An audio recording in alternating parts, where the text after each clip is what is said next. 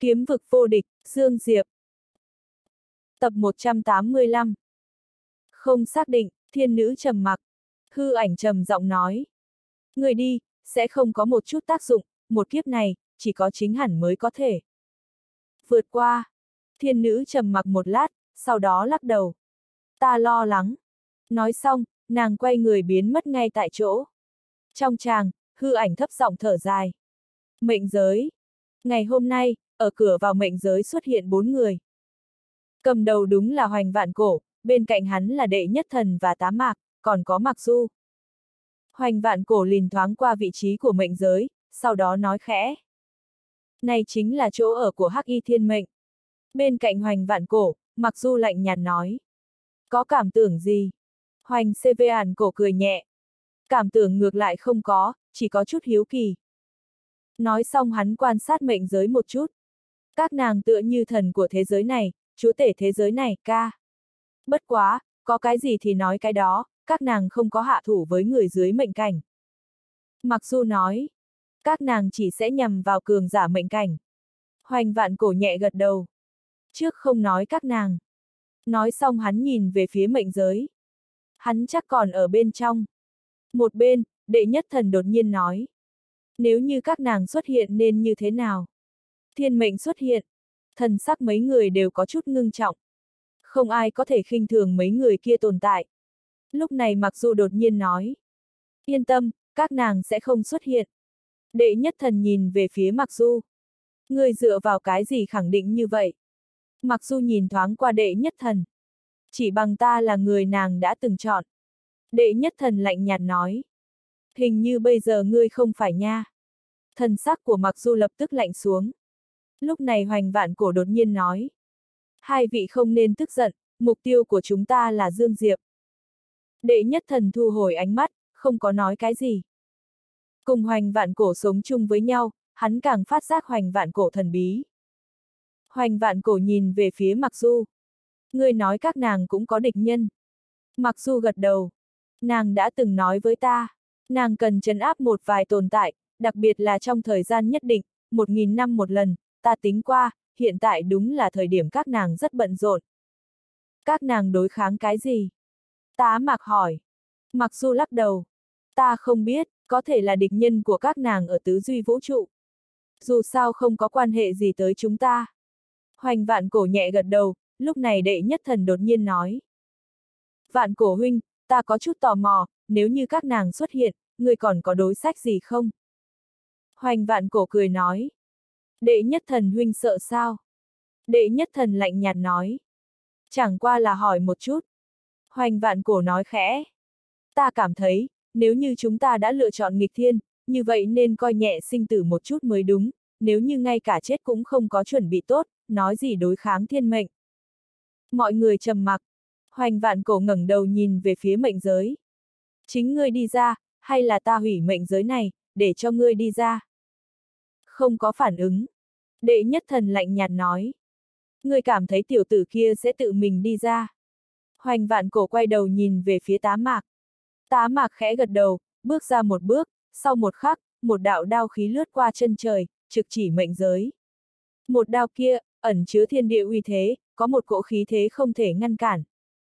ầm, um, không gian bỗng nhiên run lên, nhưng rất nhanh, một cỗ lực lượng cường đại đột nhiên từ trong không gian kia chấn động đến. Sắc mặt tá mạc biến hóa, lui về phía sau một bước, tay phải rút đao chém lần nữa. Xuy! Trong tinh không, không gian trước mặt tá mạc bị xé mở, nhưng một đao này không có ngăn trở được cỗ lực lượng kia. Cỗ lực lượng kia cuốn tới, trực tiếp bao phủ đám người hoành vạn cổ. Bành bành bành bành. Theo mấy tiếng rên vang lên, đám người hoành vạn cổ nhao nhao lui về phía sau ngàn trượng. Xa xa đột nhiên vang lên một giọng nói. Đơn đấu ta ra, không đơn đấu ta liền không ra. Đơn đấu. Trong mệnh giới, Dương Diệp ngồi xếp bằng ở trong nhà gỗ, trước mặt hắn là một linh trận đồ nho nhỏ. Đây là một cái trận pháp, một trận pháp che chở mệnh giới. Là hắc muội lưu lại. Bởi vì mệnh giới vốn không có trận pháp này, thời điểm nàng ở đây, nàng cần trận pháp làm gì? Trận pháp này là hắc muội đặc biệt vì hắn Lurulai. Trên bờ vai Dương Diệp, Tiểu Bạch tò mò quan sát linh trận đồ kia, tiểu chảo nàng chỉ chỉ linh trận đồ, ý là nàng muốn chơi. Một chút, Dương Diệp vuốt vuốt cái đầu nhỏ của tiểu bạch, cười nói. Không thể chơi, nếu như bị ngươi chơi hỏng, chúng ta sẽ xong đời, tiểu bạch trừng mắt nhìn, sau đó nhẹ gật đầu. Ở trước mặt Dương Diệp, nàng vẫn rất nghe lời. Lúc này Dương Diệp giống như nghĩ đến cái gì, hắn nhìn về phía tiểu bảo. Ta để cho ngươi xử lý chuyện tình làm xong chưa? Tiểu bạch vội vàng gật đầu, tiểu chảo quơ quơ. Dương Diệp nhẹ véo khuôn mặt nhỏ nhắn của nàng. C. Tiểu gia hỏa, lần này ngươi nên đáng tin cậy, bằng không thì, hôm nay hai người chúng ta sẽ chết ở chỗ này. Tiểu Bạch nhếch miệng cười cười, sau đó ôm lấy tay của Dương Diệp nhẹ nhàng cọ sát. Nhìn Tiểu Bạch, trong mắt Dương Diệp tràn đầy cương chiều. Kỳ thật hắn càng hy vọng Tiểu Bạch chỉ là một linh vật bình thường. Bởi vì như vậy, nàng có thể sống càng vui vẻ hơn. Cũng không đúng, nếu như chẳng qua là sinh linh thông thường, tiểu gia hỏa này sẽ không thể tỏ ra uy phong khắp nơi rồi, càng không thể muốn cái gì sẽ có cái đó. Cho nên vẫn là như bây giờ mới tốt. Bên ngoài mệnh giới, thân sắc mặc dù cực kỳ khó coi. Có trận pháp, hơn nữa còn là trận pháp phòng ngự, nhất định là nữ nhân váy đen kia lưu lại. Hoành vạn cổ khẽ gật đầu. Xem ra các nàng đã để lại cho hắn đường lui. Đệ nhất thần nhìn thoáng qua mệnh giới, sau đó nói. Lực phá. Để cho ta và hắn đơn đấu. Lúc này Mặc Du đột nhiên mở miệng. Hoành vạn cổ và đệ nhất thần nhìn về phía Mặc Du, có chút cười lạnh.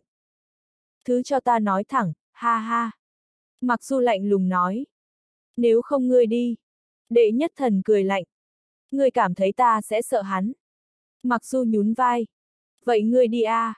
Hai mắt đệ nhất thần híp lại, một lát sau, đột nhiên hắn cười nói. Ta đi làm cái gì, lấy lớn hiếp nhỏ. Cái kia không phải là phong cách của ta, ngươi và hắn xem như nhất mạch tương thừa nha, ngươi đi đơn đấu với hắn là cực kỳ phù hợp. Mặc dù lạnh lùng nhìn thoáng qua đệ nhất thần, không nói gì. Lúc này hoành vạn cổ nói. Ngươi có chắc chắn không? Hỏi tự nhiên là Mặc Du. Mặc dù trầm mặc một cái chớp mắt, sau đó cười lạnh. Đều nói Dương Diệp hắn là một đời tuổi trẻ đệ nhất nhân, tuy khác thời đại với ta, bất quá ta ngược lại muốn nhìn, đến tột cùng là đệ nhất thời đại này lợi hại hay đệ nhất thời đại của ta lợi hại. Nói xong hắn bay ra. Ở thời đại kia của hắn, mặc dù hắn cũng là thứ nhất. Dù sao cũng là người thiên mệnh lựa chọn. Hoành vạn cổ nhìn mặc du, không nói gì.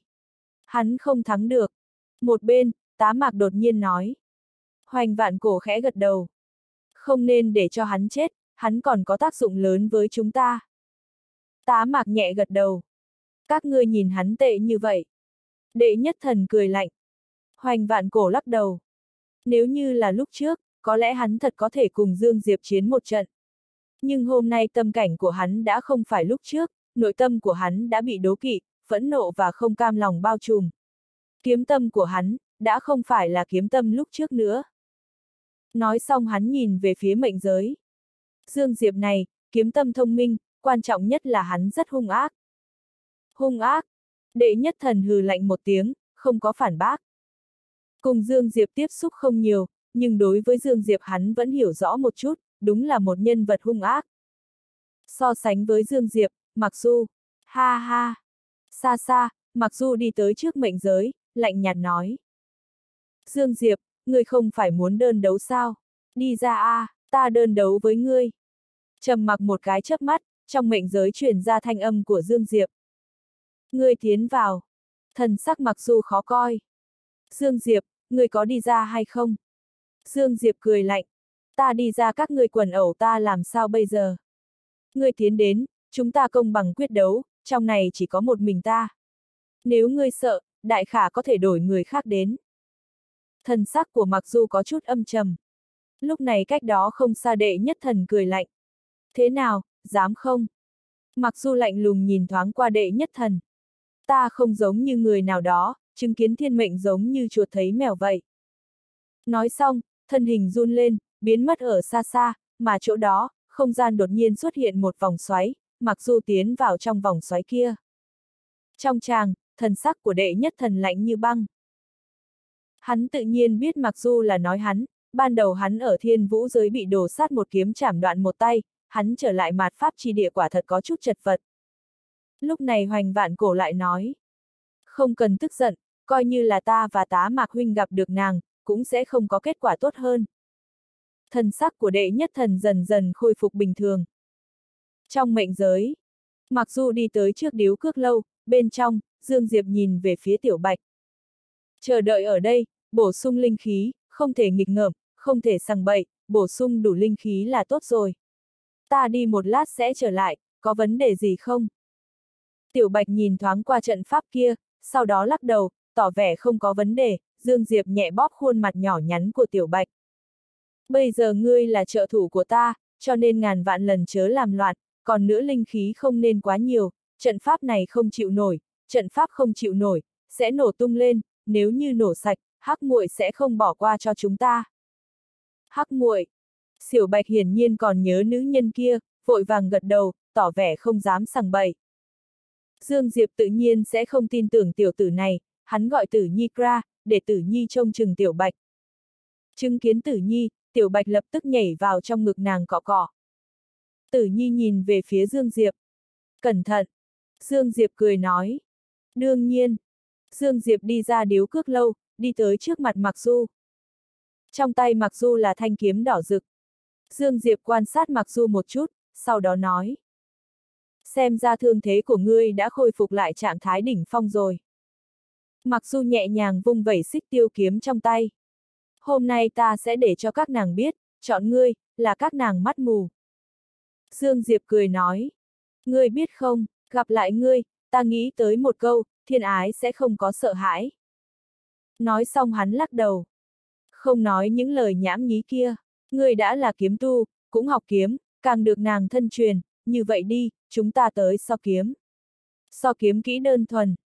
Mặc dù cười nói. Được. Kiếm tu chiến đấu. Trường kiếm mặc dù chỉ xéo mặt đất, hắn nhìn Dương Diệp cười nói. Nàng đã dạy ta mấy chiêu, nói kiếm chiêu thiên hạ không ra mấy chiêu này của nàng, đến, để cho ngươi nếm thử. Xuất kiếm đi. Dương Diệp cười nói. Ta sẽ không khách khí.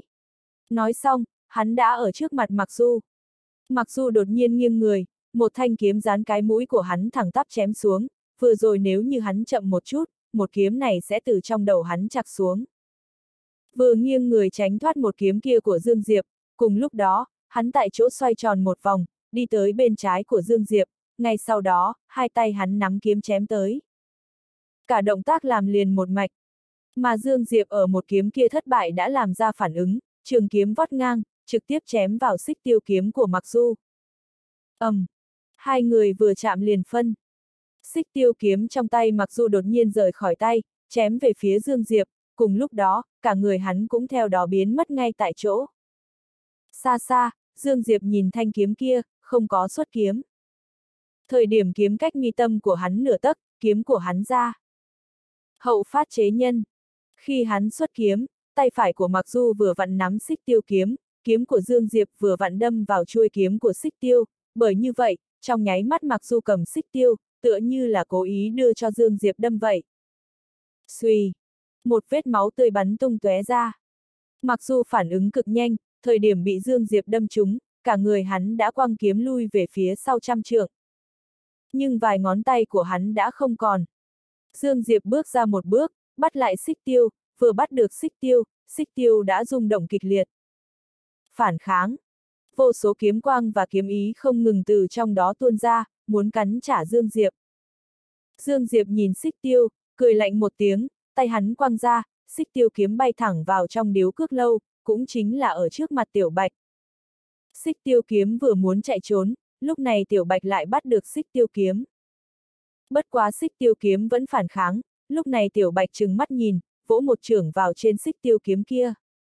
ầm, um, xích tiêu kiếm run lên kịch liệt, nhưng tiểu bạch lại nhe răng, tiểu chảo nàng nhanh chóng huy động, vừa rồi đập dùng sức quá rồi, đau a. À. Tử nhi liếc tiểu bạch, cầm lấy tiểu chảo của tiểu bạch nhẹ nhàng thổi thổi, tiểu bạch nhìn xích tiêu kiếm một cái, kiếm kia còn muốn phản kháng, nhưng rất nhanh, thật nhiều chuôi kiếm đột nhiên nhắm ngay xích tiêu. Ngũ hành kiếm, kiếm thủ, kiếm tổ, những kiếm này gắt gao bao vây xích tiêu, xích tiêu tản mát ra kiếm ý cùng kiếm quang đều bị những kiếm này thôn phệ.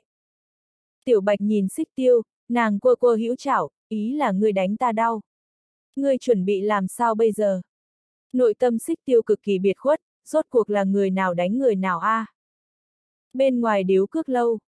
Không có xích tiêu, thần sắc của Mặc Du cực kỳ âm trầm, Dương Diệp chậm rãi đi về phía Mặc Du. Ta cảm thấy, hẳn nên kết thúc rồi. Nhưng đúng lúc này, hai tay Mặc dù đột nhiên chắp tay trước ngực, sau đó quát. Mượn kiếm. Nói xong, không gian trước mặt hắn trực tiếp vỡ ra, sau một khắc, một thanh kiếm từ trong đó bắn nhanh ra như điện. Thiên Chu kiếm. Xa xa, hai mắt Dương Diệp hơi híp lại. Thiên Chu kiếm, người cũng có linh trí, hiện tại ta cho ngươi một cơ hội, mau cút cho lão tử, bằng không, ta nhất định sẽ đánh tan linh tính của ngươi. Lúc này Tiểu Bạch xuất hiện ở trên vai Dương Diệp, Tiểu Bạch nhìn thoáng qua Thiên Chu kiếm, nàng lấy xích tiêu kiếm, xích tiêu kiếm rung rung, vẫn còn phản kháng. Ở trong mắt của Mặc Du, tiểu trảo của Tiểu Bạch đột nhiên bắt lấy hai đầu xích tiêu kiếm, sau đó nhẹ nhàng dùng sức. Răng rác, xích tiêu kiếm bị Tiểu Bạch bẻ làm hai đoạn. Trong xích tiêu kiếm, từng tiếng kiếm reo không ngừng truyền ra, đó là tiếng ai minh.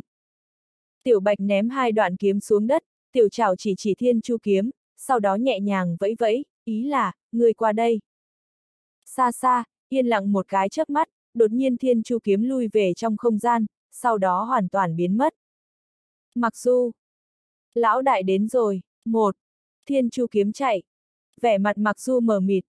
Hắn đã từng là chủ nhân của thiên chu kiếm, có thể thông qua một loại bí pháp triệu hoán thiên chu kiếm, đương nhiên chủ yếu là đồ sát không cự tuyệt, mà vừa rồi, hắn vốn muốn thử xem, để cho hắn hưng phấn là đổ sát cũng không cự tuyệt.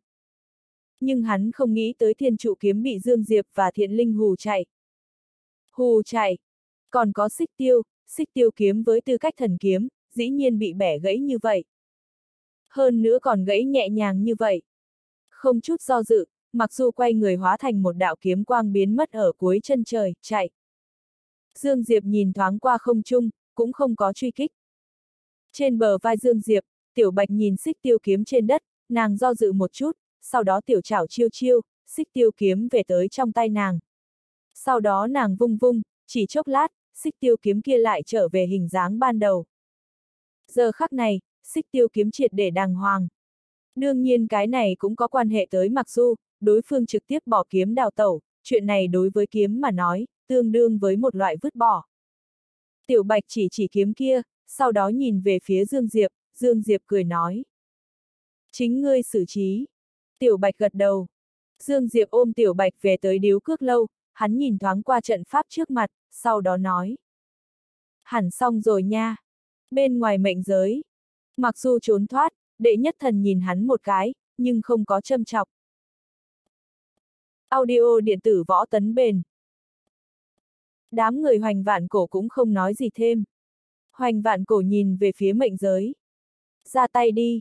Nói xong, hắn đột nhiên ném ra quạt xếp, quạt xếp đón gió căng phồng lên, trong nháy mắt, cả cây quạt bao trùm mệnh giới. Lúc này thân hình tá mạc run lên, bắn về phía mệnh giới. Đệ nhất thần cũng bắt đầu ra tay. Thời điểm mấy người ra tay, một cỗ uy áp kinh khủng từ trong mệnh giới chấn động ra, nhưng ở dưới đám người hoành vạn cổ liên thủ chấn áp, cỗ uy áp này hóa thành hư vô. Mảnh không gian kia bắt đầu phá thành mảnh nhỏ.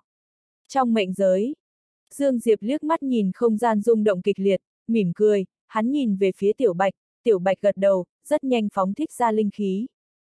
Theo linh khí càng ngày càng nhiều, trận pháp duy trì cả mệnh giới càng không ổn định. Đặc biệt là dưới tình huống ở ngoại giới có đám người hoành vạn cổ ra tay. Một khắc sau, cả mệnh giới đã tan tành. Trong mệnh giới, Dương Diệp cầm thái u kiếm, hắn để cho tử nhi về hồng mông tháp, ôm tiểu bạch, sau một khắc, không gian xung quanh hắn bắt đầu tự động phân giải. Thái U kiếm truyền tống. Kỳ thật bên ngoài mệnh giới đã bị đám người hoành vạn cổ phong tỏa, dưới tình huống bình thường, hắn không thể nào vô thanh vô tức bỏ chạy. Nhưng hắn có Thái U kiếm, chuôi thần kiếm này có thể tự do xuyên toa bất kỳ địa phương nào. Sau khi Dương Diệp và Tiểu Bạch biến mất, một cỗ linh khí tinh thuần đột nhiên xuất hiện. Thời điểm cỗ linh khí này xuất hiện, điếu cước lâu ầm ầm vỡ vụn, cùng lúc đó, cả mệnh giới cũng bắt đầu nổ từng khúc, lực lượng hủy thiên diệt địa càn quét ra. Bên ngoài mệnh giới, sắc mặt đám người hoành vạn cổ đại biến, nhao nhao lui về phía sau. Dầm dầm, Tinh không mai một từng khúc, cứ như vậy rằng có hơn nửa canh giờ mới dừng lại. Mà giờ khắc này, đám người hoành vạn cổ đều chật vật không thôi. Trong hư không, thần sắc đám người hoành vạn cổ cực kỳ khó coi, bởi vì sau khi mệnh giới vỡ vụn, bọn hắn không có cảm nhận được khí thức của Dương Diệp. Chạy! Dương Diệp ở dưới mí mắt của bọn họ chạy thoát. Thái U kiếm. Lúc này mặc dù đột nhiên nói. Trên người hắn có Thái U kiếm, có thể tự do xuyên toa bất kỳ địa phương nào. Thái U kiếm. Đệ nhất thần nhìn về phía Mặc Du. Sao ngươi không nói sớm? Mặc Du lạnh nhạt nói. Không nhớ, được không? Hai mắt đệ nhất thần híp lại, trong mắt sát ý lập lòe, nhưng Mặc dù không hề sợ hãi. Hắn biết, thực lực của mình thua đệ nhất thần một tí, nhưng hắn biết rõ, hiện tại mạt pháp chi địa rất cần hắn, hơn nữa hắn cũng có lá bài tẩy. Lúc này hoành vạn cổ đột nhiên nói. Hai vị không nên gây chuyện. Đệ nhất thần và mặc du hừ lạnh một tiếng, không có nói gì. Hoành vạn cổ lắc đầu. Hai vị, chúng ta có cùng chung địch nhân, ta hy vọng hai vị nhớ kỹ điểm này. Nói xong hắn nhìn về phía mặc du. Người cảm thấy hắn sẽ đi đâu? Mặc du lắc đầu. Hoành vạn cổ khẽ gật đầu. Xem ra chỉ có thể đi mời kính tiên sinh tương trợ. Nói xong, hắn quay người rời đi. Tá mạc và đệ nhất thần cũng đi theo, nhưng mặc dù không đi cùng, mà quay người biến mất ngay tại chỗ. Cách đó không xa, đệ nhất thần đột nhiên nói. Người này lòng dạ khó lường, ta cảm thấy giữ lại không được. Hoành vạn cổ nhìn thoáng qua đệ nhất thần, cười nói.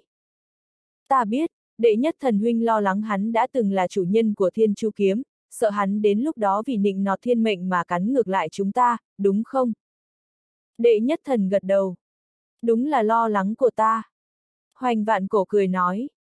Yên tâm, không có việc gì. Đệ nhất thần nhìn thoáng qua hoành vạn cổ, không có nói gì. Sau khi đám người đệ nhất thần ly khai không lâu, một nữ tử xuất hiện. Đúng là thiên nữ chạy tới. Bên cạnh thiên nữ, đạo hư ảnh kia xuất. Hiện lần nữa. Hắn đã trốn. Chạy trốn tới nơi nào? Thiên nữ hỏi. Hư ảnh lắc đầu. Không biết, hắn có thái u kiếm, trong thiên địa nơi nào cũng có thể đi, người không cần lo lắng. Thiên nữ trầm mặc. Thiên nữ trầm mặc. Vĩnh Hằng chi giới. Thời khắc này hoang tộc và Vĩnh Hằng quốc độ chiến đấu đã gần như sắp chuẩn bị kết thúc rồi. Song phương vẫn không có hoàn toàn phân ra thắng bại, nhưng cũng gần sấp xỉ. Cả Vĩnh Hằng chi hà đã bị thi thể chất đầy, sông kia hoàn toàn đã trở thành một huyết hà. Không biết trải qua bao lâu, đột nhiên Dương Diệp mở hai mắt ra, giờ phút này, hắn đã ở một mệnh giới khác rồi. Mệnh giới của nữ tử váy trắng. Địa phương Thái U Kiếm đi qua, hắn đều có thể đi, hiển nhiên Thái U Kiếm đã từng tới nơi đây. Kỳ thật ngay từ đầu hắn cũng đã nghĩ kỹ tất cả đối sách. Hắn hiện tại, căn bản không thể liều mạng với người của mạt pháp chi địa, phương pháp xử lý cuối cùng dĩ nhiên là trốn. Mà trốn nơi nào là một vấn đề, cuối cùng hắn quyết định đi mệnh giới trốn. Ở thế gian này, ngoại trừ tứ duy vũ trụ ra, chỉ còn lại bốn mệnh giới này an toàn nhất. Mà bởi vì quan hệ với nữ tử váy trắng, hắn trực tiếp chọn mệnh giới của nữ tử váy trắng. Dương Diệp quan sát bốn phía một chút, mệnh giới của nữ tử váy trắng này không quá giống mệnh giới của hắc muội, bởi vì trong mệnh giới này chính là một vùng biển, ở trung ương có một hòn đảo nhỏ, trừ cái đó ra, toàn bộ thế giới đều là biển. Trên vai Dương Diệp, Tiểu Bạch tò mò quan sát bốn phía. Đột nhiên nàng nhìn về phía đáy biển, lại nhìn thoáng qua Dương Diệp, sau đó Tiểu Trảo chỉ chỉ phía dưới. Dương Diệp nói, phía dưới có cái gì? Tiểu Bạch gật đầu. Nguy hiểm không? Dương Diệp hỏi. Tiểu Bạch lắc đầu. Dương Diệp tự nhiên không tin tiểu gia hỏa này, người hỏi nàng tứ duy vũ trụ nguy hiểm không, nàng cũng sẽ nói không nguy hiểm. Ngoại trừ số ít tồn tại, nàng căn bản không sợ cái gì. Dương Diệp quan sát đáy biển một chút, rất nhanh, hắn nhìn thấy đáy biển có một hắc ảnh đang du động. Hiển nhiên, khả năng là nữ tử váy trắng nuôi cái gì đó. Dương Diệp lấy ra vãng sinh kiếm cho Tiểu Bạch, Tiểu Bạch nhếch miệng cười cười, sau đó ngự kiếm tiến vào đáy biển.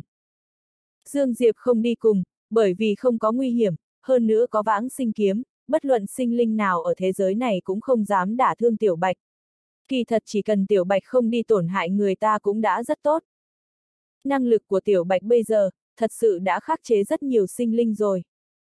Dương Diệp đi tới trên đảo nhỏ, ở trung tâm đảo có một gian phòng rất khác biệt, bốn phía là vô số hoa cỏ cùng với linh quả. Mà ở trước phòng, Dương Diệp gặp được một con chim nhỏ, một chim nhỏ đủ mọi màu sắc, chim nhỏ ngăn cản Dương Diệp, khẽ kêu. Người tới là ai? Dương Diệp nhìn thoáng qua chim nhỏ, cười nói. Khách nhân. Chim nhỏ căm tức nhìn Dương Diệp. Mau mau thối lui, bằng không thì chủ nhân trở về ngươi sẽ chết. Dương Diệp cười nói. Ngươi tên gì? Chim nhỏ cả giận nói. Bản thiên tử gọi tiểu anh. Nhân loại, mau mau rời đi. Dương Diệp cười nói. Ta là bằng hữu của chủ nhân ngươi. Tiểu anh hiển nhiên có chút không tin. Ngươi chứng minh như thế nào? Dương Diệp do dự một chút, sau đó thò tay, rất nhanh, một cỗ vãng sinh chi lực xuất hiện. Cảm nhận được vãng sinh chi lực, Tiểu Anh ngẩn ngơ, sau đó nói. Ngươi thật sự là bằng hữu của chủ nhân. Dương Diệp gật đầu. Tiểu Anh khóc lên. Chủ nhân nàng đâu, nàng đi đâu, Tiểu Anh không nên một mình ở lại nơi đây, đại thủy quái kia không dễ chơi, ô ô. Dương Diệp cười cười. Đừng khóc, đến lúc đó ta mang ngươi đi ra ngoài chơi. Tiểu Anh ngẩng đầu nhìn về phía Dương Diệp. Thật không? Dương Diệp gật đầu. Ngay lúc này, nước biển nơi xa đột nhiên lăn lộn. Sắc mặt Dương Diệp khẽ biến, hắn quay đầu nhìn lại, trên mặt biển, một quái vật khổng lồ đang nhanh chóng du động, tốc độ cực nhanh, bởi vậy mặt biển biến thành một vòng xoáy. Mà ở trên đầu quái vật khổng lồ kia, Dương Diệp thấy được một thân ảnh quen thuộc. Chính là Tiểu Bạch. Chứng kiến Tiểu Bạch chơi hăng say, Dương Diệp lắc đầu im lặng, tiểu gia hỏa này, đã thành công thu phục được đại yêu rồi.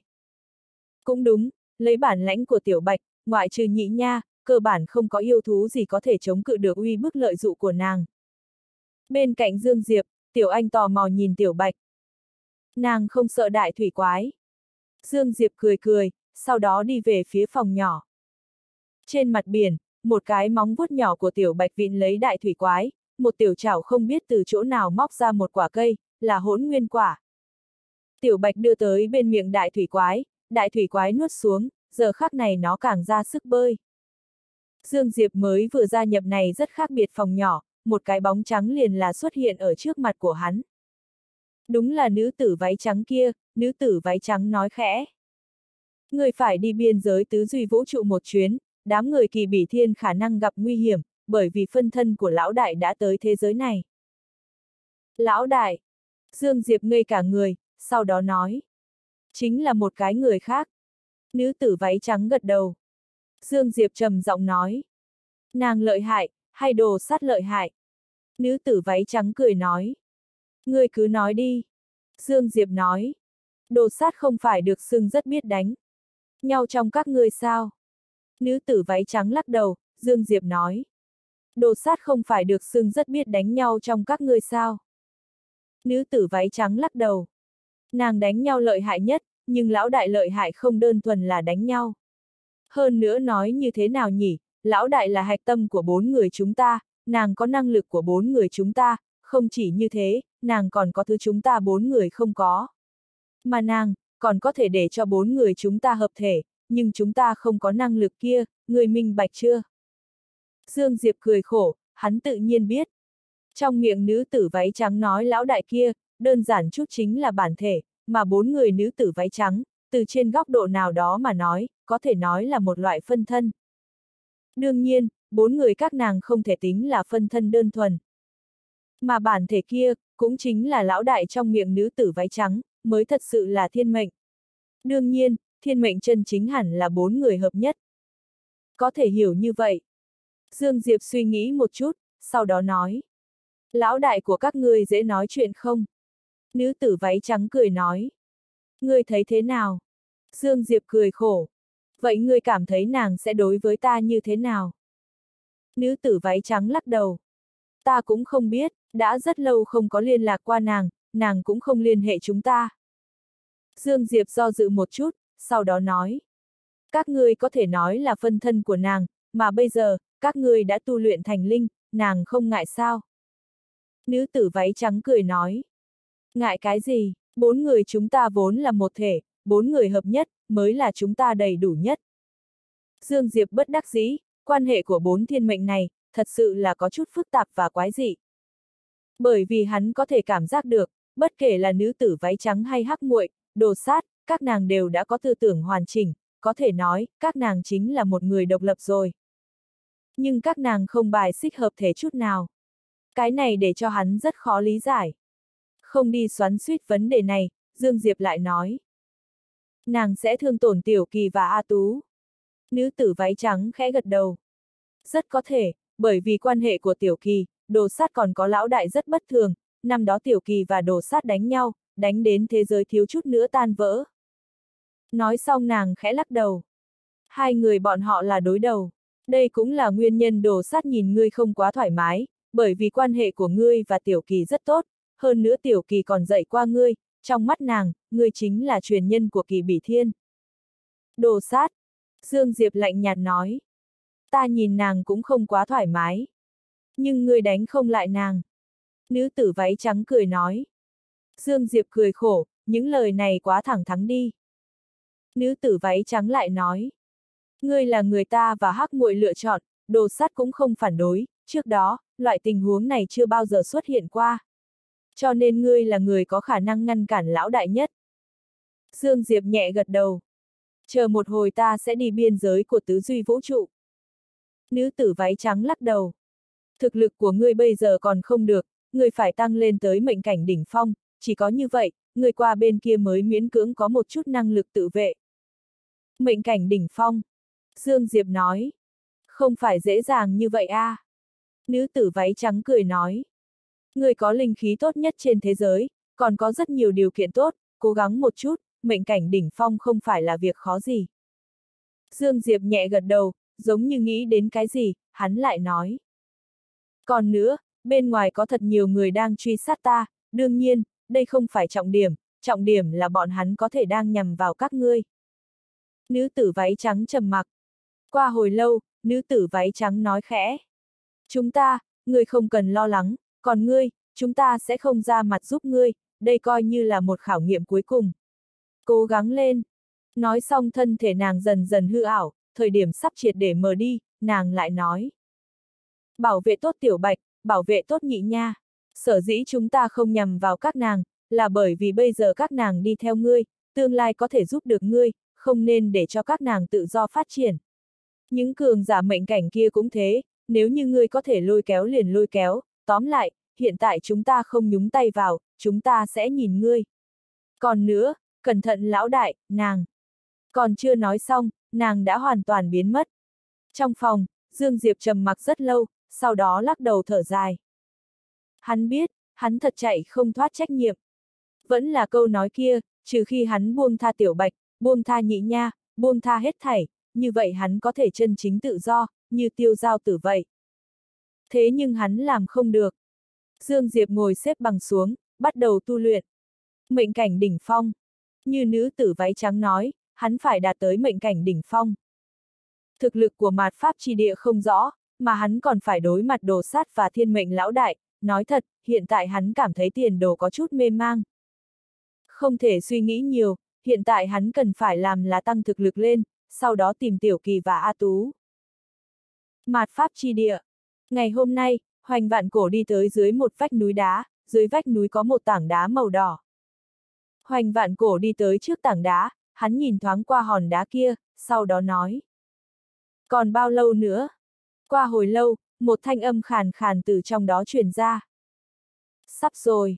Hai mắt hoành vạn cổ chậm rãi đóng lại. Lúc này trong hòn đá kia, một giọng nói truyền ra. Ta muốn thiện linh và ác linh. Hoành vạn cổ khẽ gật đầu. Ta sẽ giúp ngươi mang tới, ta muốn thiện linh và ác linh. Hoành vạn cổ khẽ gật đầu. Ta sẽ giúp ngươi mang tới. Rất tốt. Thanh âm kia nói. Hoành vạn cổ quay người rời đi. Cũng không lâu lắm, tá mạc xuất hiện ở bên cạnh hắn. Tá mạc nói khẽ. Cha được tung tích của lệ đế. Hoành vạn cổ. Hắn như thế nào? Tá mạc lắc đầu. C. Còn chưa tiếp xúc, bất quá người này tâm cao khí ngạo, sợ là sẽ không tiếp xúc với bọn ta. Hoành vạn cổ trầm mặc một lát, sau đó nói. Ta tự mình đi một chuyến. Nói xong, hắn biến mất ngay tại chỗ. Bên kia, một thế giới dưới lòng đất. An Nam tính tay cầm chiến qua không ngừng huy động, ở trước mặt nàng, là một hắc ảnh không nhìn thấy diện mạo. Qua không biết bao lâu, An Nam Tĩnh ngừng lại. Hắc ảnh kia nói. Ngươi hiểu chưa? An Nam Tĩnh lắc đầu. Không quá rõ ràng. Hắc ảnh khẽ gật đầu. Vậy tiếp tục. An Nam Tĩnh lần nữa biến mất ngay tại chỗ. Thương phá trời cao. Trong hồng mông tháp, nhị nha còn đang tu luyện, nàng thôn phệ mảnh vỡ nội đan thứ hai, đây là một quá trình khá dài.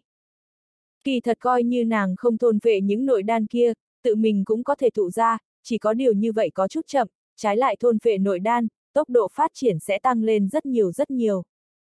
Về phần tiểu bạch, mục đích nhân sinh của tiểu bạch là, tu luyện và chơi đùa cộng đồng tiến hành. Tu luyện một ngày, chơi ba ngày. Nàng cảm thấy như vậy mới là hợp lý nhất, thời điểm nàng ở quê quán của Dương Liêm Sương, biết được người ở đó một tuần lễ đều sẽ tu luyện, 5 ngày thậm chí 6 ngày, thì vô cùng tức giận. Đó là thời gian con người có thể sống sao?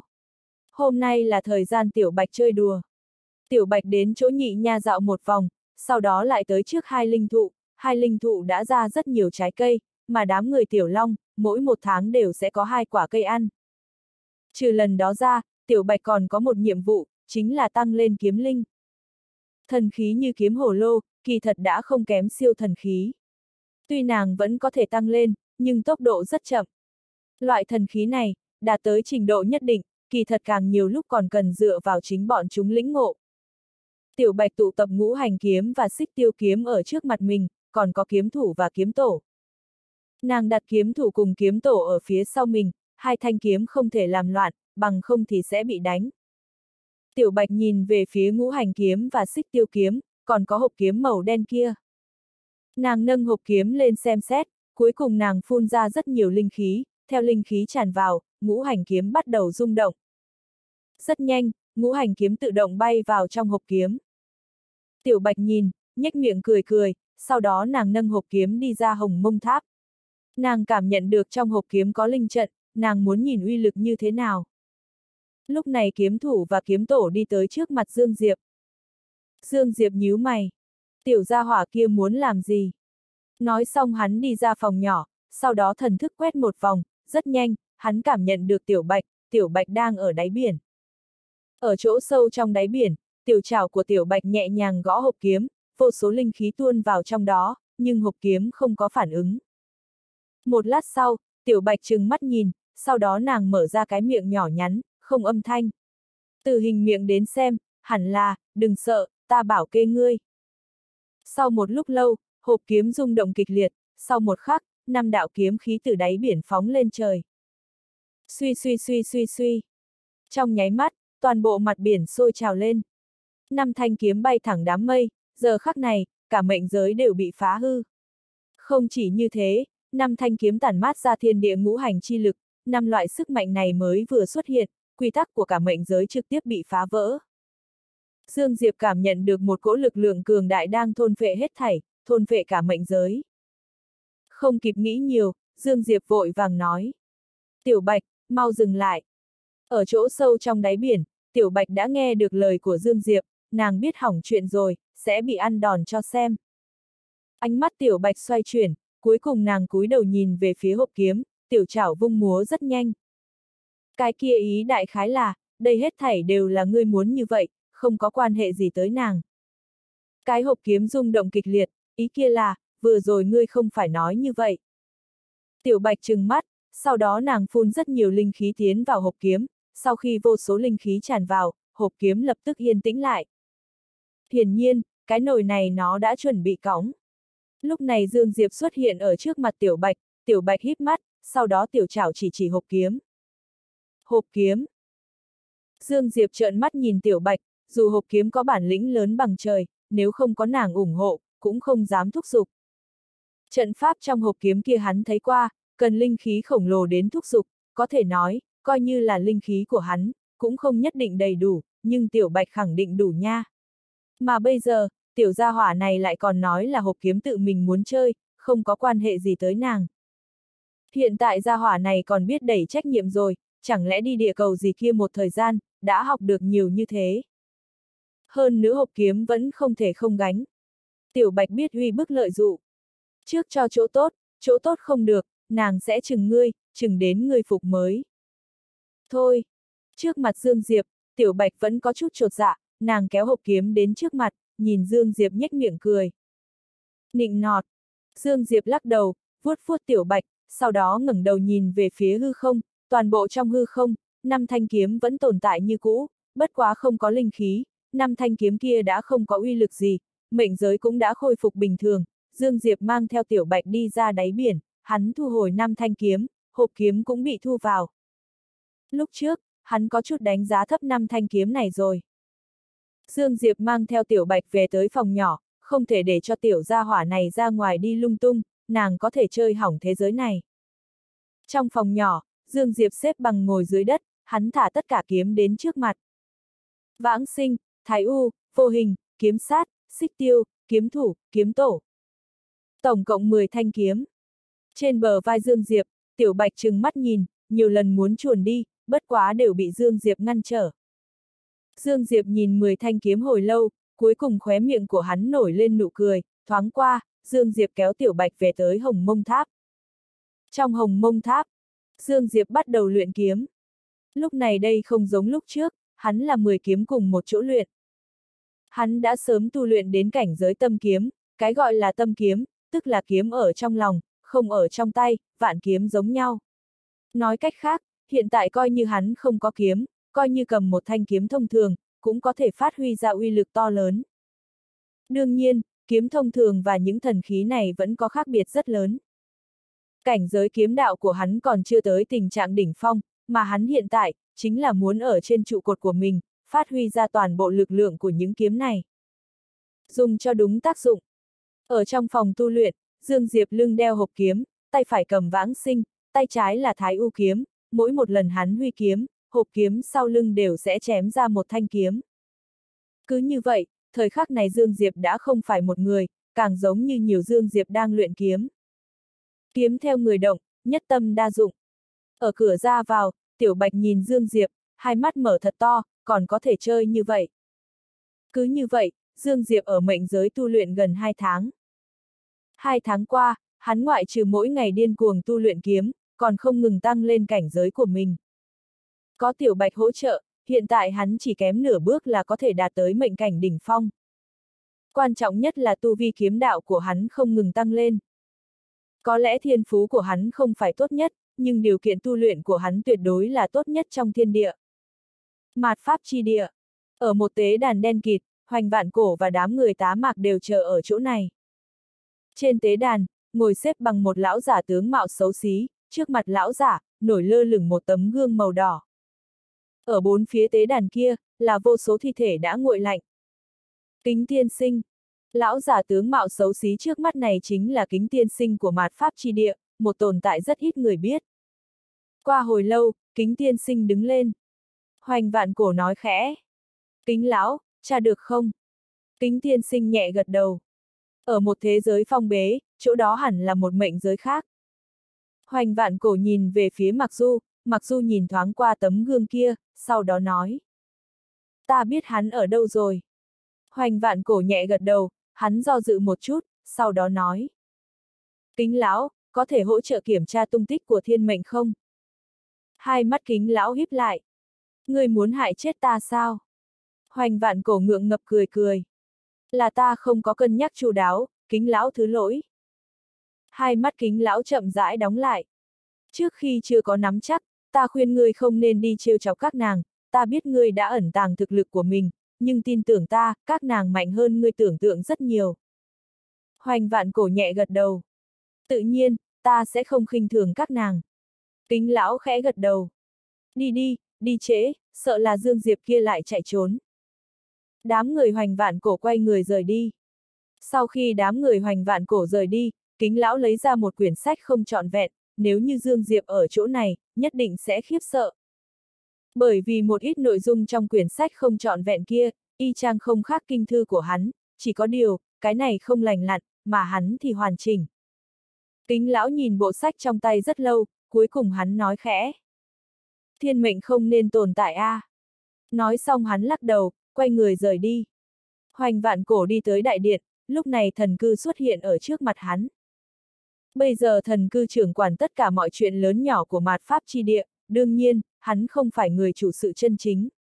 Bởi vì thực lực của Dương Diệp, hoành vạn cổ đã không để cho thần cư đi gây phiền toái với Dương Diệp nữa rồi. Hiện tại, coi như là tá mạc đi, cũng không lấy được chỗ tốt. Thần cư trầm giọng nói. Có 21 người gia nhập chúng ta, trong đó 6 cường giả mệnh cảnh đỉnh phong, có 3 người đến từ thời đại cực kỳ lâu trước kia, bị thiên mệnh đuổi giết qua. Bọn hắn đều đang hỏi tung tích của Dương Diệp. Hoành vạn cổ lắc đầu cười cười, hỏi thăm tung tích của Dương Diệp, không cần phải nói, những người này không dám đi tìm đồ sát, không dám đi tìm hắc muội, cho nên bọn hắn chỉ có thể tìm Dương Diệp.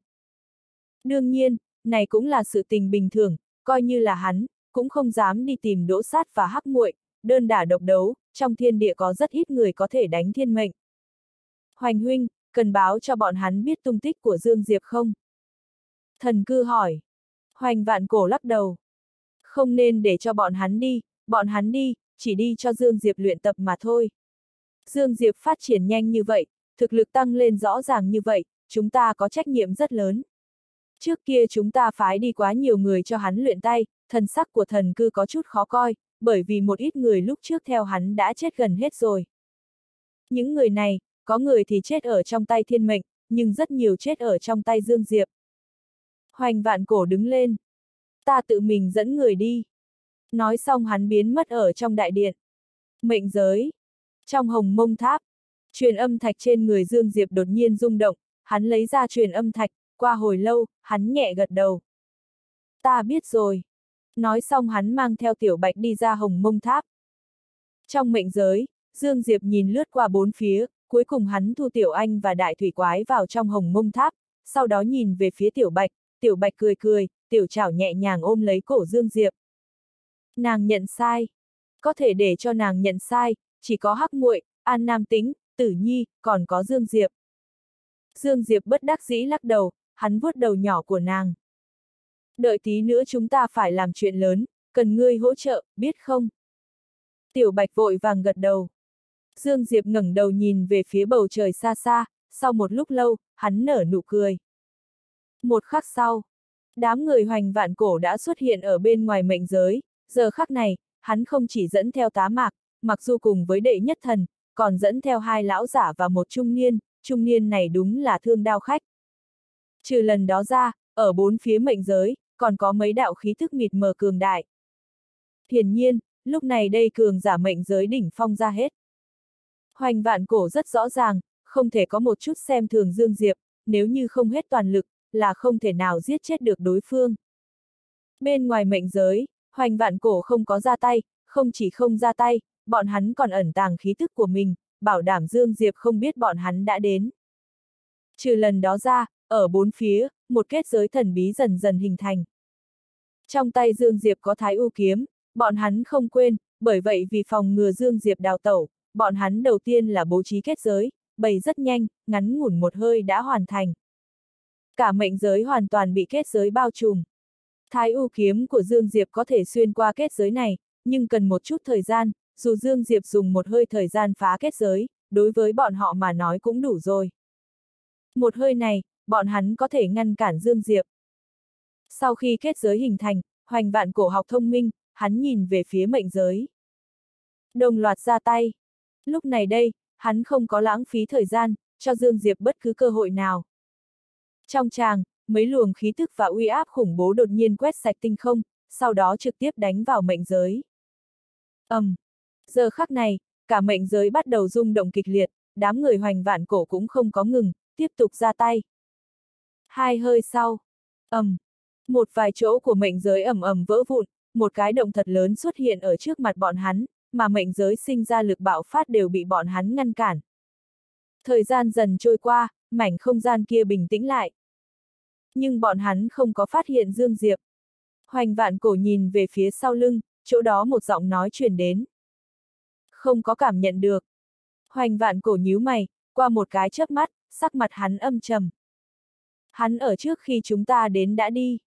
Hắn sẽ đi đâu đây? Tá mạc hỏi. Hoành vạn cổ trầm mặc một lát, đột nhiên không gian trước mặt hắn bắt đầu rung động, sau một khắc, sắc mặt hắn đại biến. Không được, một phút đồng hồ trước hắn đi mạt pháp chi địa. Tất cả mọi người lập tức trở về mạt pháp chi địa. Nói xong, mọi người nhao nhao quay người biến mất ngay tại chỗ. Một phút đồng hồ trước, mạt pháp chi địa. Một đạo kiếm quang đột nhiên xuất hiện ở mạt pháp chi địa, xuất hiện không có dấu hiệu nào. Giờ khắc này, người của mạt pháp chi địa cực kỳ khiếp sợ. Dương Diệp cúi đầu nhìn về phía tiểu bạch. Phong tỏa nơi đây, đừng cho bất cứ tin tức gì truyền ra ngoài. Tiểu bạch nhẹ gật đầu, tiểu chảo vung múa, giống như nghĩ đến cái gì, nàng vội vàng lấy ra linh trượng, rất nhanh, linh khí của cả mạt pháp chi địa bị tiểu bạch hấp thu hết sạch, không chỉ như thế, linh vực của tiểu bạch còn trực tiếp bao trùm cả mạt pháp chi địa. Bất kỳ tin tức gì cần linh khí truyền tống cũng đã vô dụng. Dương Diệp cầm kiếm chậm rãi đi đến, nhe răng cười. Các ngươi không phải tìm ta sao? Lão tử chính là Dương Diệp, run rẩy đi các tôn tử. Mạt pháp chi địa. Dương Diệp cầm kiếm chậm rãi đi tới, mà giờ khắc này, chung quanh đã xuất hiện rất nhiều người, đều là cường giả mệnh cảnh. Nhưng mệnh cảnh đỉnh phong, một cái cũng không có. Bởi vì toàn bộ đều đi mệnh giới. Lúc này xa xa đột nhiên xuất hiện một trung niên, đúng là thần cư. thần sắc của thần cư cực kỳ khó coi, bởi vì cường giả đỉnh cao của cả mạt pháp chi địa cơ bản đều đi ra ngoài. Mà hắn thật không ngờ, Dương Diệp rõ ràng không có ở mệnh giới, mà đến nơi này. Thần cư vừa muốn nói gì, Dương Diệp đột nhiên biến mất ngay tại chỗ, sắc mặt thần cư đại biến. Mọi người cùng nhau ra tay, ngăn chặn hắn. Nói xong, trong tay phải hắn xuất hiện một thanh trường mâu bén nhọn. Trường mâu ra, kiếm chí, răng rắc, trong chàng đột nhiên vang lên một âm thanh đứt gãy, rất nhanh, Dương Diệp đã xuất hiện ở sau lưng thần cư. Thân thể thần cư cương cứng, hắn có chút đờ đẫn nhìn xa xa. Làm sao có thể? Nói xong, cổ họng hắn có máu tươi bắn ra. Sau lưng thần cư, Dương Diệp lạnh nhạt nói. Lão tạp mau, lão tử muốn giết ngươi đã lâu rồi. Nói xong thân hình hắn run lên, hóa thành một đạo kiếm quang bắn tới. Cùng lúc đó, trong kiếm hộp sau lưng hắn, mấy đạo phi kiếm đột nhiên bay ra, những phi kiếm này chém về bốn phương hướng bất đồng. Trong lúc nhất thời, cả mạt pháp trì địa rối loạn. Xa xa, một đạo kiếm quang rơi xuống đất, sau đạo kiếm quang này, một cái đầu lâu máu rầm rề lăn dưới đất. Thoáng qua, Dương Diệp lần nữa biến mất ngay tại chỗ, một đạo kiếm quang phóng lên trời, trong tinh không, máu tươi rơi vãi xuống, trong vết máu tươi còn kèm theo một cái đầu lâu. Đồ sát!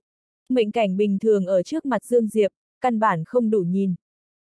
Chỉ có cường giả mệnh cảnh đỉnh phong mới có thể đối kháng Dương Diệp, nhưng hoành vạn cổ đã mang hết cường giả mệnh cảnh đỉnh phong ra ngoài. Nói cách khác, bây giờ Dương Diệp chính là sói vào chuồng dê. Cả mặt pháp chi địa, chỉ cần có kiếm quang sáng lên, sẽ có một cái đầu lâu rơi xuống đất. Cứ như vậy, Dương Diệp một mạch giết tới, hiện tại hắn nhìn thấy ai sẽ giết người đó, ở chỗ này, hắn chỉ có địch nhân. Cứ như vậy, Dương Diệp trực tiếp giết tới chỗ sâu trong mặt pháp chi địa, lúc này gần bảy cường giả mệnh cảnh chắn ở trước mặt hắn. Dương Diệp không có bất kỳ nói nhảm, thân hình run lên, vọt tới bảy người kia. Lấy một địch bảy. Hiện tại hắn thiếu chính là thời gian, bởi vì hắn không thể ở nơi này quá lâu, kéo lâu, đám người hoành vạn cổ trở về, sẽ bắt rùa trong hũ đấy. Xa xa, bảy người kia cũng không lui lại, mà liên thủ vọt về phía Dương Diệp. Rất nhanh, Dương Diệp rút kiếm chém. Khi hắn rút kiếm, trong hộp kiếm phía sau hắn, năm thanh phi kiếm đột nhiên chém ra. Mà ở trong tay trái Dương Diệp, lại xuất hiện một thanh kiếm. Một thanh vãng sinh, một thanh thái u. Dương Diệp trực tiếp vọt tới cường giả mệnh cảnh ở trước mặt.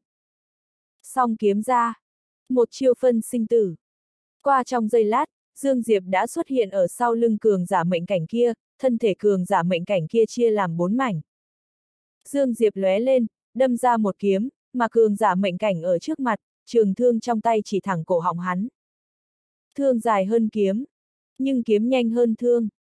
Kiếm của Dương Diệp ở giữa đường đột nhiên chém xéo, cái chém xéo này, trực tiếp chém gãy trường thương, sau đó nhảy vào tới, kiếm chém nghiêng xuống. Xuy! Kiếm của Dương Diệp từ chỗ cổ của cường giả mệnh cảnh chém xuống, trong nháy mắt. Máu tươi phun ở trên người Dương Diệp.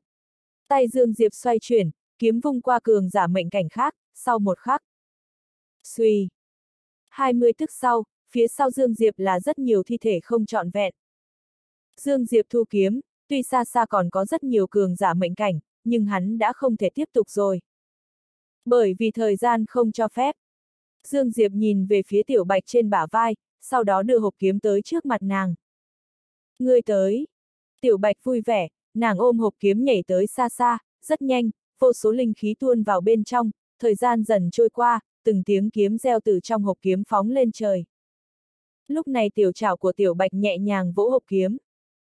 ầm, um, năm thanh kiếm phóng lên trời, ngũ hành chi lực xuất hiện. Trong nháy mắt, cả mạt pháp chi địa vặn vẹo. Suy suy suy suy suy. Cả mạt pháp chi địa bắt đầu phá thành mảnh nhỏ. Dương Diệp thu hồi hộp kiếm, hắn lấy ra thái u kiếm, sau đó nói khẽ. Hy vọng không nên xảy ra chuyện. Nói xong hắn ôm tiểu bạch biến mất. Khi hắn biến mất, hắn nhìn thoáng qua xa xa, chỗ đó, hắn cảm giác được như có cái gì đang chăm chú nhìn hắn.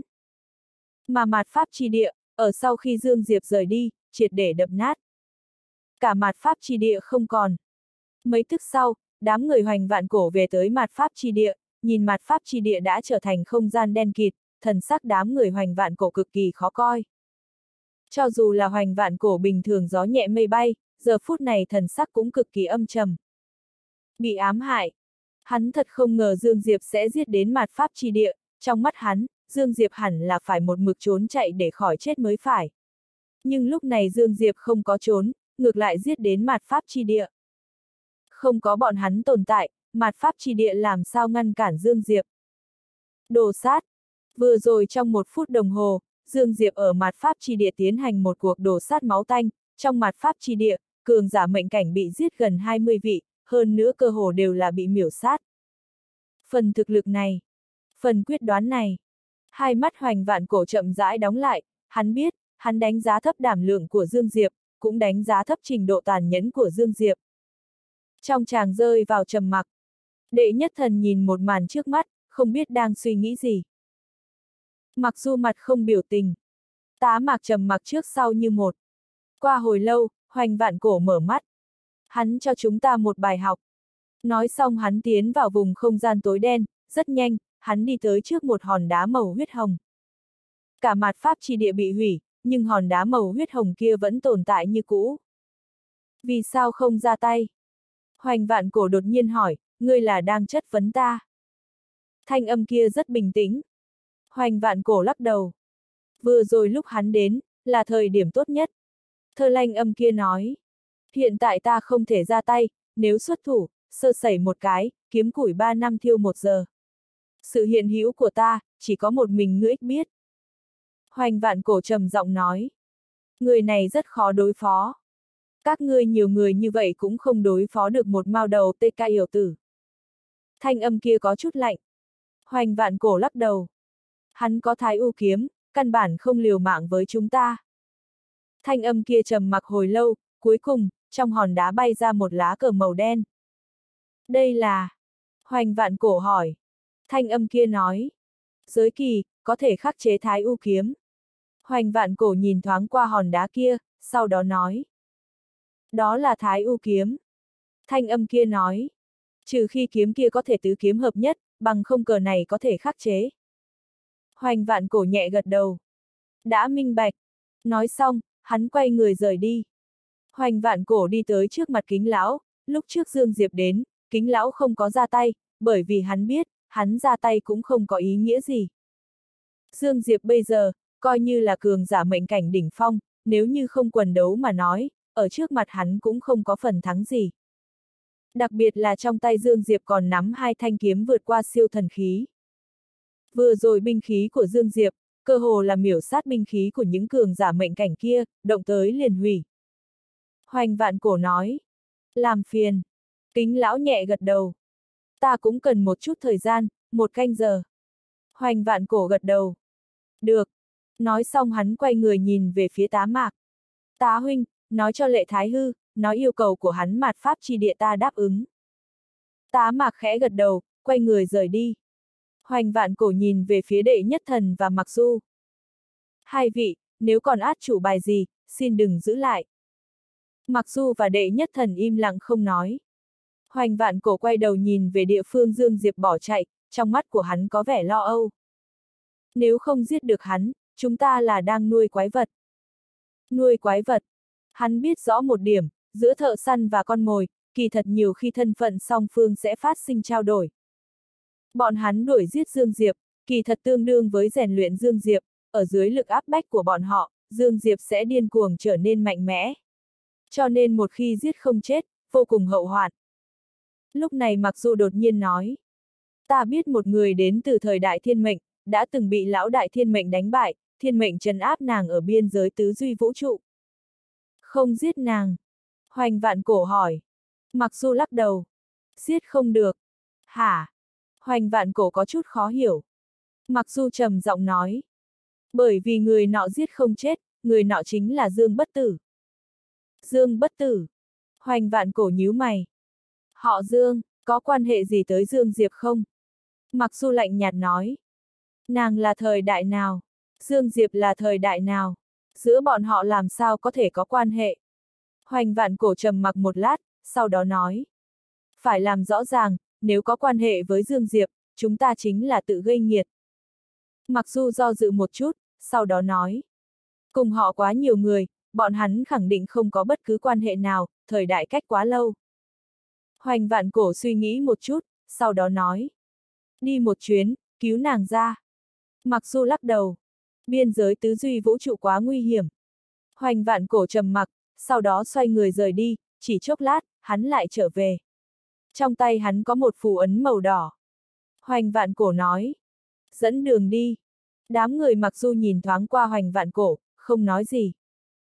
Rất nhanh, mọi người biến mất không thấy gì nữa. Dương Diệp và Tiểu Bạch đi tới một chỗ, một chỗ không biết tên. Tinh không vô tận tựa như một hố đen to lớn, thâm sâu mà lại mê người. Dương Diệp nhìn vùng tinh không trước mắt, có chút mờ mịt. Hắn đến nơi này, một cỗ lực lượng thần bí chặn hắn, không để cho hắn tiếp tục đi tới.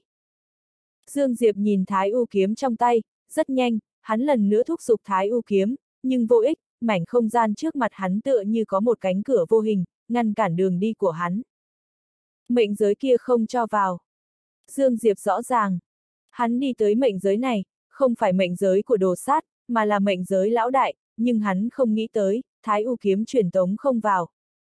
Trầm mặc một lát, Dương Diệp nhìn về phía Tiểu Bạch, Tiểu Bạch trừng mắt nhìn, sau đó nàng nhìn về phía khu vực kia, do dự một chút, Tiểu chảo nhẹ nhàng vung lên, rất nhanh, linh khí ở mảnh không gian kia bắt đầu tụ tập. Trận pháp. Mệnh giới kia, hiển nhiên có kết giới và trận pháp, mà hiện tại Dương Diệp cần phải làm là để cho Tiểu Bạch phá vỡ kết giới và trận pháp kia. Kết giới và trận pháp gì đó, ở trước mặt Tiểu Bạch hoàn toàn là mây bay.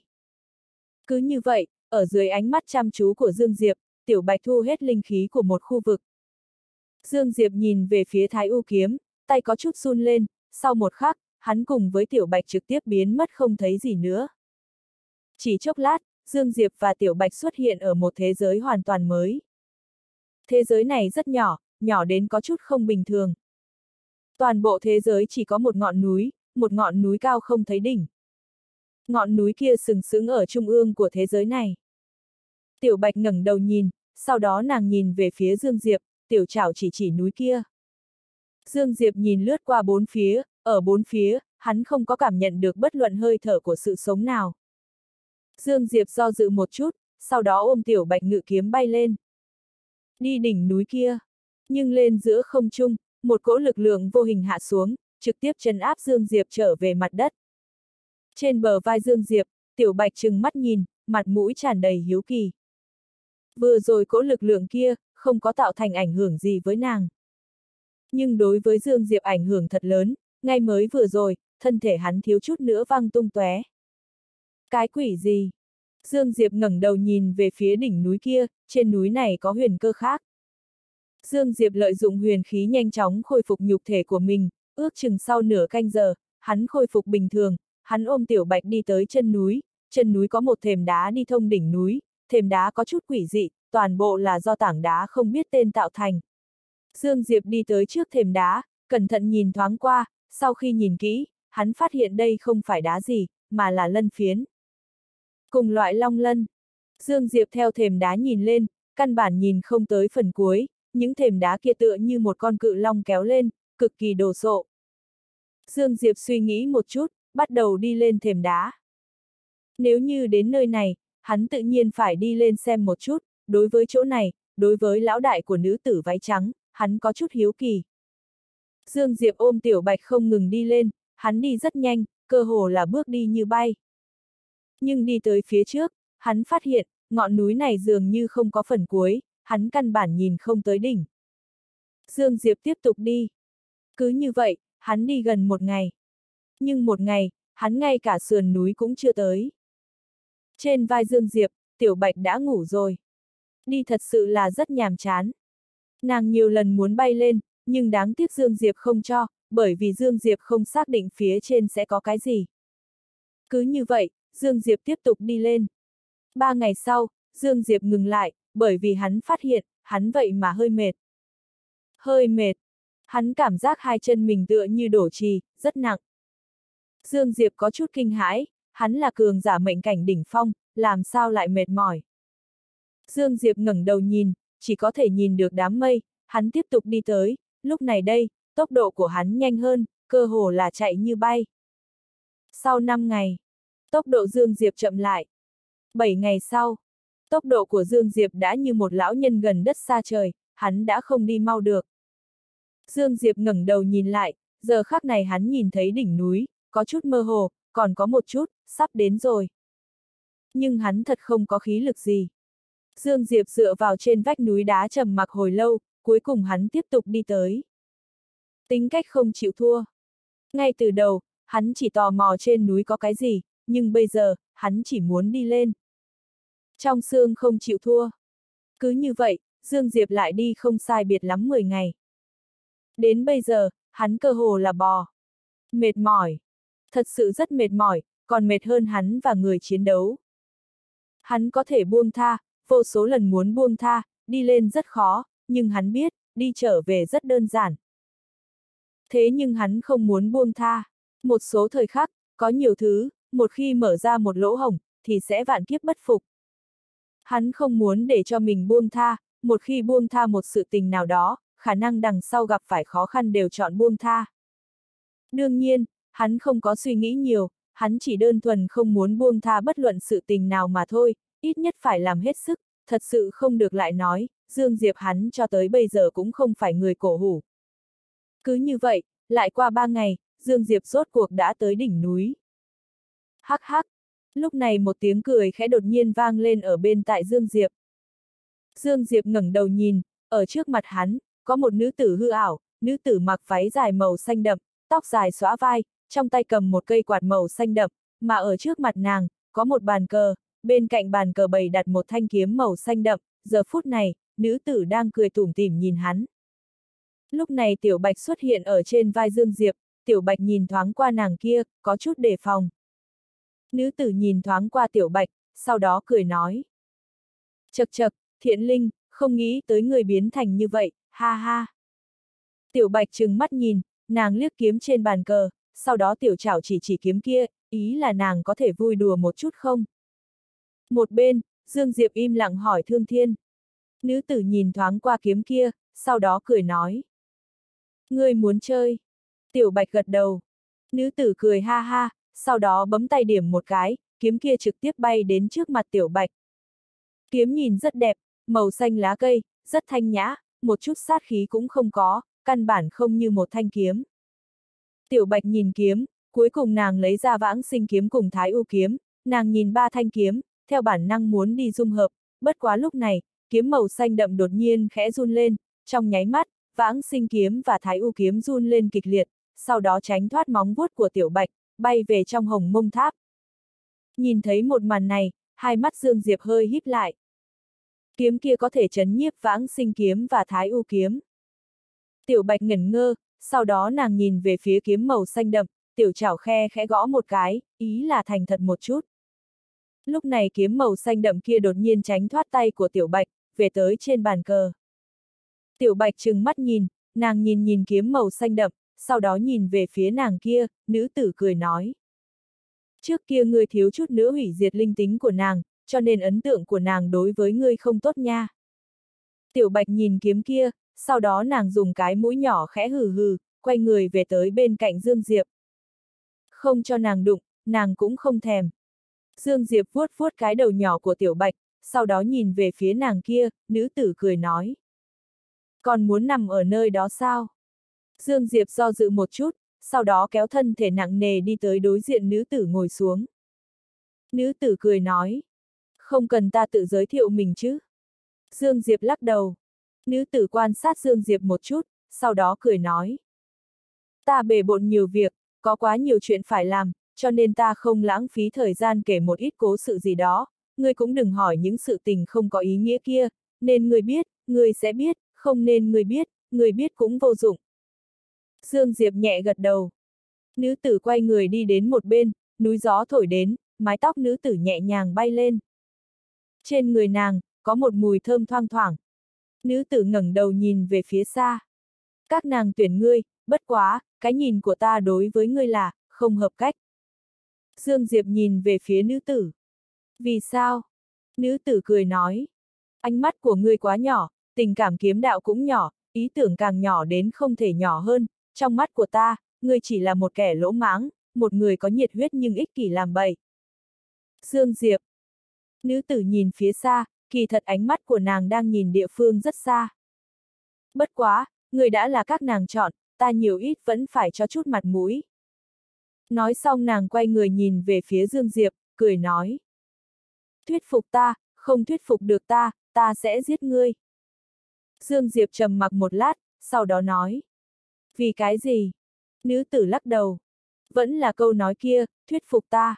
Đừng nói cái gì buông tha hay không buông tha, người bây giờ không thể lựa chọn buông tha, người buông tha, ta cũng sẽ giết ngươi. Không chỉ như thế, ta còn đi giết đám người kỳ bỉ thiên, còn có thiện linh và ác linh bên cạnh ngươi, đừng nhìn hiện tại các nàng vô hại, nhưng tương lai, thế giới khả năng bởi vì các nàng mà hủy diệt. Đương nhiên, nếu như thuyết phục được ta, những lời mới vừa nói đều không tồn tại, hơn nữa còn có chỗ tốt. Nữ tử ý tứ rất rõ ràng, Dương Diệp đạt được nàng tán thành, người đứng bên hắn, có thể sống sót, để hắn thành thành viên tổ chức, nếu như hắn không thể thu được nàng thừa nhận, hắn phải chết, thân nhân bên người cũng phải chết. Tương đương với hoàng đế chọn thái tử, một hoàng tử không thể trở thành thái tử, tự nhiên là không thể có quá nhiều thế lực, bởi vì hắn sẽ uy hiếp được thái tử. Dương Diệp nhìn nữ tử, nữ tử mỉm cười, rất chân thành vui vẻ, nhưng Dương Diệp biết, nữ nhân này không có đùa. Trầm mặc một lát, đột nhiên Dương Diệp rút kiếm chém. ầm, um, bàn cờ trước mặt hắn ầm ầm vỡ vụn. Dương Diệp cầm kiếm chỉ vào nữ tử, cả giận nói. Lão tử chọn cái búa, người muốn giết cứ giết, đừng con mẹ nó kéo những thứ này được không? Nữ tử nhìn thoáng qua Dương Diệp, lắc đầu. Ta càng thất vọng. Dương Diệp cười lạnh. Trước khi ngươi giết ta, ta có thể nói vài lời không? Nữ tử khẽ gật đầu. Đương nhiên có thể, dù sao ngươi cũng là các nàng chọn, điểm ấy tình cảm vẫn phải. Cho. Dương Diệp đi tới trước mặt nữ nhân. Ngươi nói cho ta biết, thế giới này là thế giới của một mình ngươi, hay là thế giới của vạn vật vạn linh. Nữ tử trầm mặc một lát, sau đó nói. Vạn vật vạn linh. Dương Diệp nói. Ta lại hỏi ngươi, bây giờ ngươi và thiên đạo ban đầu có gì khác biệt? Nữ tử khẽ cười nói. Ngươi cảm thấy ta đang ức hiếp vạn vật vạn linh. Dương Diệp hỏi lại. Chẳng lẽ các ngươi không phải? Nữ tử cười không nói. Dương Diệp nói. Bốn người các ngươi, kể cả hắc muội, nữ tử váy trắng, đã từng đều cao cao tại thượng, cảm giác mình là thần, cảm thấy thế giới này là các ngươi thủ hộ, cho nên các ngươi cảm thấy các ngươi đối với thế giới này có được quyền chủ đạo tuyệt đối, thậm chí các ngươi cảm thấy vạn vật vạn linh của thế giới này có thể sống, là bởi vì các ngươi, các ngươi coi mình là thần, các ngươi bao trùm ở trên vạn vật vạn linh. Nữ tử mỉm cười. Còn gì nữa không? Dương Diệp tiếp tục nói. Ta cảm thấy các ngươi sai rồi. Khóe miệng nữ tử hơi cuộn lên. Có chút y tứ, đến, nói một chút. Dương Diệp lắc đầu. Các ngươi định một danh giới, mệnh cảnh chính là danh giới, phàm là đạt tới mệnh cảnh, các ngươi sẽ giết chết. Ta muốn hỏi một chút, loại hành vi này của các ngươi cùng thiên đạo lúc trước có gì khác biệt? Nữ tử cười nhẹ, nàng ngồi về tại chỗ, tay nhẹ nhàng vung lên, bàn cờ bị Dương Diệp chém vỡ lần nữa khôi phục bình thường. Dương Diệp ngồi xuống đối diện nữ tử, nữ tử nhìn hắn một cái, cười nói. Cường giả chế định quy tắc, biết không? Dương Diệp nhìn nữ tử. Cường giả tùy hứng, kẻ yếu liền mất mạng. Nữ tử cười nói. Người giết người tựa hồ cũng không ít. Dương Diệp nói. Ta giết không thẹn với lương tâm. Khóe miệng nữ tử hơi cuộn lên. Ta giết cũng vậy. Dương Diệp nhìn nữ tử, hắn buông tha. Như nữ tử váy trắng nói, trước khi không có thực lực tuyệt đối, người vĩnh viễn không có biện pháp giảng đạo lý với một người mạnh hơn người rất nhiều. Cường giả sẽ không giảng đạo lý với kẻ yếu. Nữ tử nhìn thoáng qua bàn cờ, đó là một ván giang dở, hiển nhiên nàng đang cùng người chơi. Lúc này đột nhiên Dương Diệp nói. Một câu cuối cùng, các ngươi giết nhiều năm như vậy, kết quả thế nào? Cô gái nói. Kết quả là thế giới này vẫn tồn tại. Cho dù thế nhân cảm thấy chúng ta là đại địch số một, vậy thì thế nào? Ta cảm thấy đúng, như vậy là đúng, sẽ không có vấn đề. Nói xong nàng nhìn về phía Dương Diệp, cười nói. Ngươi lúc đó chẳng phải loại tính cách này sao? Dương Diệp trầm mặc. Nữ tử cười nói. Thế nào, không nói nữa. Dương Diệp lắc đầu. Đánh không lại ngươi, nói không có ý nghĩa quá lớn, nếu như đánh thắng ngươi, không cần nói gì. Nữ tử nhìn Dương Diệp hồi lâu, sau đó cười nói. Ngươi không có kém cỏi như vậy a. À? Nói xong nàng nhìn thoáng qua thanh kiếm bên cạnh bàn cờ. Biết kiếm này tên gì không?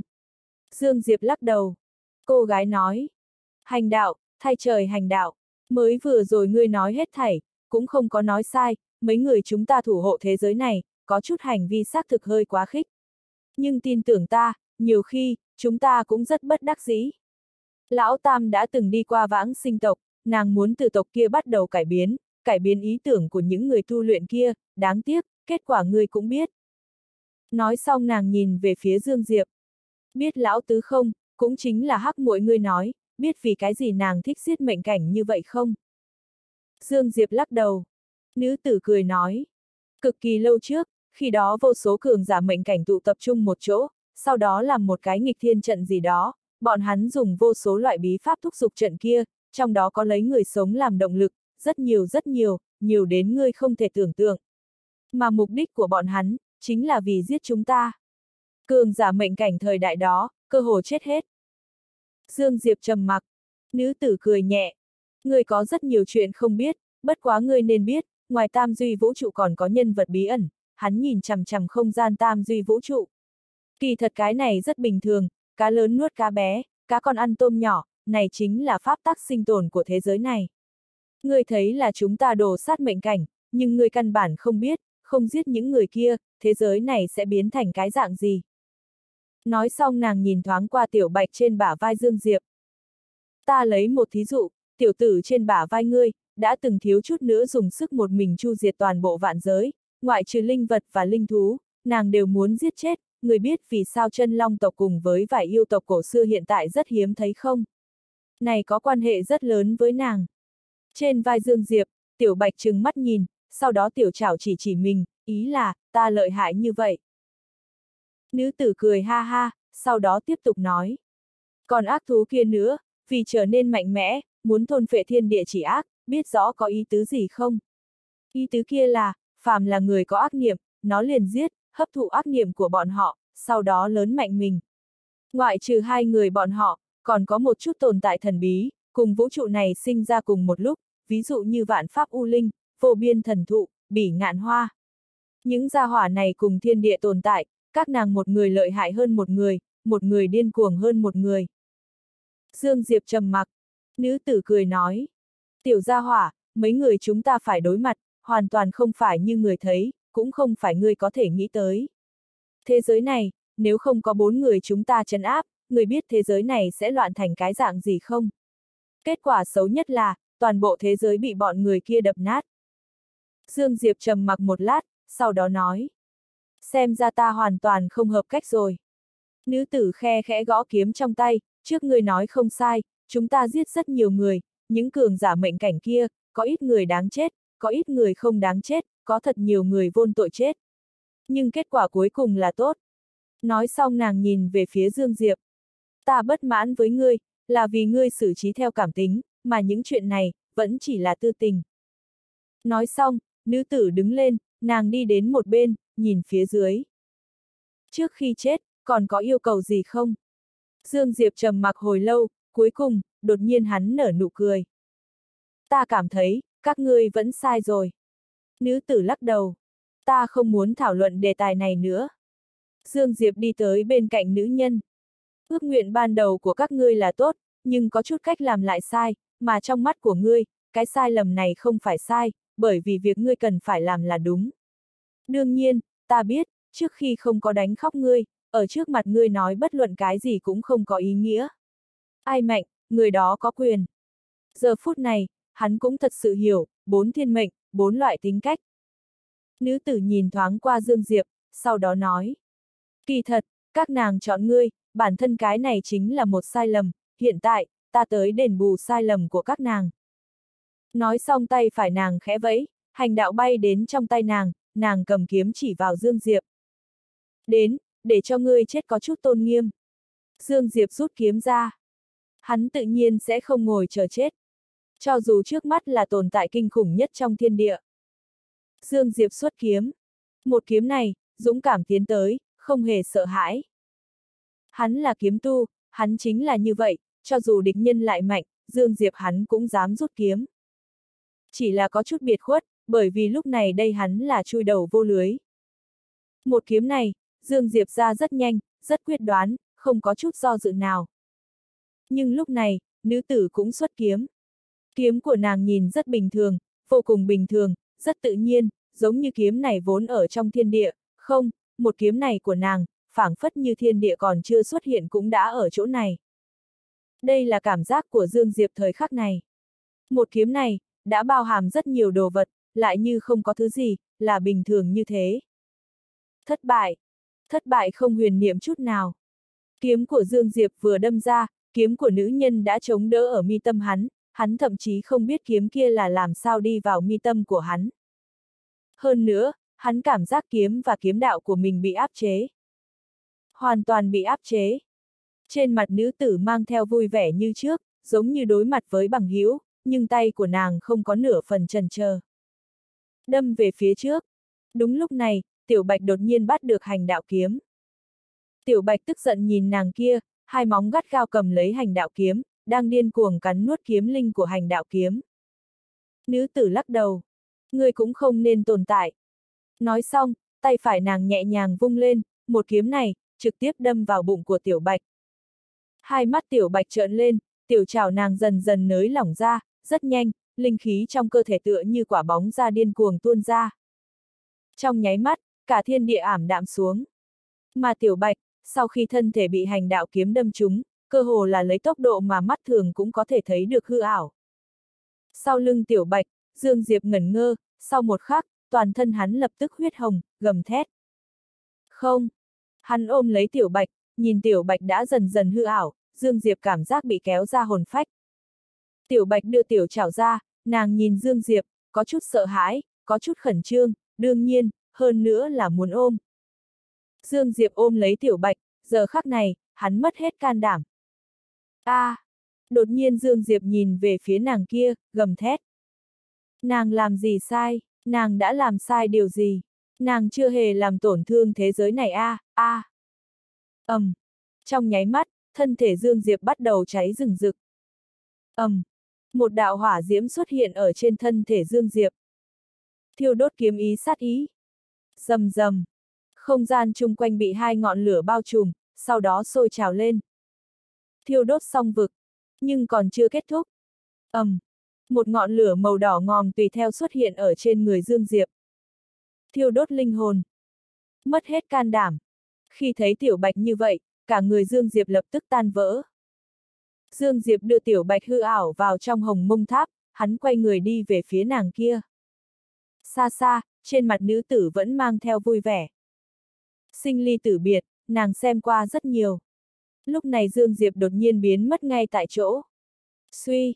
Một ánh kiếm màu đỏ như máu lóe lên, thời khắc này, Dương Diệp cường đại trước đó chưa từng có. Nhiều khi, yêu có thể làm cho người ta sinh ra lực lượng, có thể kích phát tiềm năng, nhưng hận cũng có thể. Huống chi, thời khắc này Dương Diệp kích phát ra tất cả tiềm năng mà mình có thể kích phát. Một kiếm này, mạnh mẽ đến mức tận cùng. Nhưng đối với nữ tử trước mắt đã giết qua vô số cường giả đỉnh phong mà nói, một kiếm này cũng không mạnh. Cực đoan, cũng không có nghĩa là rất mạnh. Nữ tử tiện tay vung một kiếm, một kiếm này trực tiếp đâm vào mũi kiếm của Dương Diệp. Keng! Kiếm trong tay Dương Diệp run lên, sau một khắc, cả người Dương Diệp giãn nứt ra, nhưng trường kiếm của Dương Diệp vẽ một cái, dán chặt lấy kiếm của nữ nhân kia bổ tới. Nhưng một kiếm vô cùng mau lẹ kia lại phách không. Nữ tử chẳng biết lúc nào đã xuất hiện ở chỗ của Dương Diệp. Dương Diệp cũng không ngừng tay, quay người bổ về phía nữ tử. Một kiếm lại một kiếm.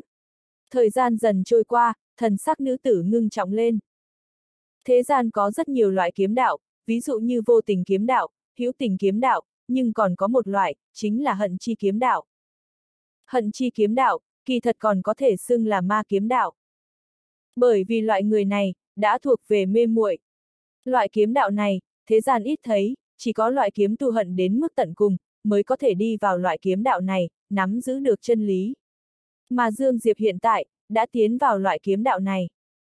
Uy lực của kiếm điên cuồng bạo tăng, mỗi một kiếm đều mạnh mẽ hơn kiếm trước gấp mấy lần. Cái này đã cực kỳ không bình thường.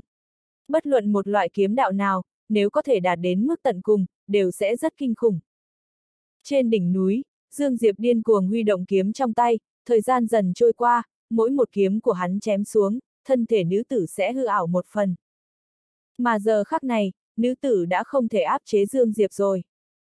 Nữ tử cũng có chút khó có thể tin. Quá khó tin. Bởi vì nàng rất rõ ràng Dương Diệp và nàng tranh lệch, có thể nói, Dương Diệp ở trước mặt nàng hẳn là không hề có lực hoàn thủ, nhưng bây giờ, Dương Diệp đã có dấu hiệu áp chế nàng. Tuy đây chỉ là phân thân, không phải bản thể. Nhưng điều này cũng để cho nàng khó tin. Trong mắt nữ tử đã có một ít hứng thú. Cứ như vậy, Dương Diệp không biết rằng có bao lâu, đột nhiên Dương Diệp tung người nhảy vọt, sau một khắc, một đạo kiếm quang huyết hồng từ bầu trời bổ xuống. Một kiếm này, dường như có thể khai thiên tích địa. Không phải dường như, là có thể khai thiên tích địa. Một kiếm rơi xuống. Nữ tử khẽ ngẩng đầu, giơ kiếm ngăn cản. ầm, um, Một kiếm rơi xuống. ầm, um, Toàn bộ đỉnh núi văng tung tóe, cả mệnh giới bắt đầu một tấc một tấc mở đi. Một kiếm này, hủy cả mệnh giới. Nhưng nàng kia vẫn ở chỗ cũ, Dương Diệp thì té xuống. Bất quá thân thể nữ nhân cũng hư ảo đến cực hạn, tựa như một luồng khói xanh, lúc nào cũng có thể tiêu tán ở trong thiên địa này. Cả mệnh giới bắt đầu phá thành mảnh nhỏ. Dương Diệp từ không trung chậm rãi rơi xuống, nhục thể và linh hồn của hắn bắt đầu mai một. Đây chính là cái giá lớn mà hắn phải trả. Cái giá này, là hắn không thể thừa nhận. Nhưng đúng lúc này, một đạo bạch quang đột nhiên bao phủ thân thể và linh hồn bắt đầu chôn vùi của Dương Diệp, rất nhanh, này luồng sáng trắng biến mất không thấy gì nữa. Trong hồng mông tháp, Dương Diệp xuất hiện ở trên phi thăng đài. Bên cạnh hắn là Tiểu Bạch. Tiểu Bạch. Lúc này Tiểu Bạch hoàn hảo như lúc ban đầu, một chút sự tình cũng không có. Đương nhiên, khi thấy hình dáng này của Dương Diệp, tâm linh yếu ớt của Tiểu Bạch làm sao thừa nhận. Nàng khóc giống lên. Rất nhanh, nàng giống như nghĩ đến cái gì, linh trưởng bắt đầu vung múa, rất nhanh, vô số linh khí tụ về phía Dương Diệp. Giờ khắc này, Tiểu Bạch hết toàn lực. Cứ như vậy, linh khí càng ngày càng nhiều, Dương Diệp đã bị linh khí triệt để bao bọc, thân thể mai một rõ ràng ngừng lại. Nhưng linh hồn của hắn vẫn đang sụp đổ. Tối đa 20 tức, linh hồn của hắn sẽ hoàn toàn biến mất. Khi đó, trong thiên địa không còn Dương Diệp nữa. Bởi vì nếu linh hồn của hắn biến mất, cái kia chính là thần hồn câu diệt. Giờ khắc này, Tiểu Bạch là chân chính luống cuống. Mà chung quanh, Tô Thanh Thi và Tử Nhi đều tới phi thăng đài. Nhìn Dương Diệp trên phi thăng đài, sắc mặt hai nữ kịch biến, rất nhanh, Tô Thanh Thi nhìn về phía Tiểu Bạch. Giờ khắc này Tiểu Bạch đã hoang mang lo sợ. Đúng lúc này, vãng sinh kiếm đột nhiên trôi giạt đến bên cạnh, vãng sinh kiếm bắt đầu rung động, rất nhanh, từng cỗ vãng sinh chi lực từ trong kiếm tuôn ra, sau đó tràn vào người Dương Diệp. Trừ lần đó ra, trong cơ thể Dương Diệp, vãng sinh khí cũng tự động vận chuyển, rất nhanh, ở quanh người hắn, vãng sinh chi lực đột nhiên bao trùm linh hồn. Trong nháy mắt, linh hồn đang tan vỡ ngừng. Lai, có hiệu quả. Tiểu Bạch nhìn thấy một màn này, vốn là ngẩn ngơ, rất nhanh nàng phục hồi tinh thần lại, há miệng ra, trong nháy mắt, vô số vãng sinh khí và vãng sinh chi lực hội tụ về. Phía Dương Diệp, vãng sinh khí. Ban đầu nàng ở vãng sinh tộc đoạt của vãng sinh tộc tộc trưởng, mà ở dưới nàng bồi dưỡng, vãng sinh khí và vãng sinh chi lực của nàng, hơn nhiều Dương Diệp không biết bao nhiêu lần. Rất nhanh, linh hồn Dương Diệp dần dần khôi phục bình tĩnh, bất quá hắn vẫn rất suy yếu, hơn nữa hôn mê. Nhưng ít nhất sẽ không thần hồn câu diệt. Nhìn thấy một màn này, Tô Thanh Thi và Tử Nhi, Tiểu Bạch thở dài một hơi. Bên ngoài hồng mông tháp, mệnh giới bắt đầu tan vỡ, nhưng cô gái kia không hoàn toàn biến mất. Nàng nhìn thoáng qua vị trí của Dương Diệp, khóe miệng hơi cuộn lên. Có chút y tứ. Nói xong, thân thể nàng triệt để tiêu tán. Trong hồng mông tháp, Tiểu Bạch vẫn ở chỗ cũ truyền linh khí cho Dương Diệp, cứ như vậy rằng co trọn vẹn một ngày, con mắt Dương Diệp chậm rãi mở ra, nhưng Tiểu Bạch đã mệt bò tới trên người hắn ngủ rồi. Tỉnh rồi.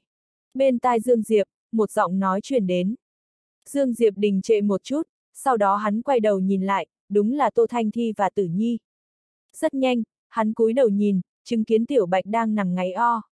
O! Tiểu Bạch không có chết. Thấy một màn như vậy, nước mắt từ trong mắt Dương Diệp tràn ra. Lúc này Tô Thanh Thi nắm lấy tay Dương Diệp. Không sao chứ. Thanh âm có chút run run. Dương Diệp nhẹ nhàng vuốt đầu của Tiểu Bạch, sau đó quay đầu nhìn về phía Tô Thanh Thi, khẽ gật đầu. Tô Thanh Thi nhẹ vuốt hai má của hắn. Lần sau đừng làm loại chuyện ngu xuẩn này nữa, được không? Dương Diệp gật đầu. Lần này là ta ngu xuẩn, cho rằng thiên mệnh này giống như ba thiên mệnh khác, ta sai hoàn toàn. Nói xong hai mắt hắn chậm rãi đóng lại. Thiên mệnh này, hoàn toàn khác ba thiên mệnh kia, thiên mệnh này, là chân chính coi mình như thần, hắn có thể cảm giác được, đối phương vô cùng tự kỷ. Hơn nữa ý tưởng của thiên mệnh này hoàn toàn khác ba người kia. Thiên mệnh này, hiển nhiên là muốn quán triệt quy tắc trước kia nàng chế định. Khá tốt lúc này đây, nàng tới chỉ là một phân thân, nếu như là bản thể, lần này hắn căn bản không có đường sống. Qua hồi lâu, Dương Diệp nhìn về phía Tô Thanh Thi, nói khẽ. Tại sao Tiểu Bạch lại không có việc gì? Tô Thanh Thi nói khẽ.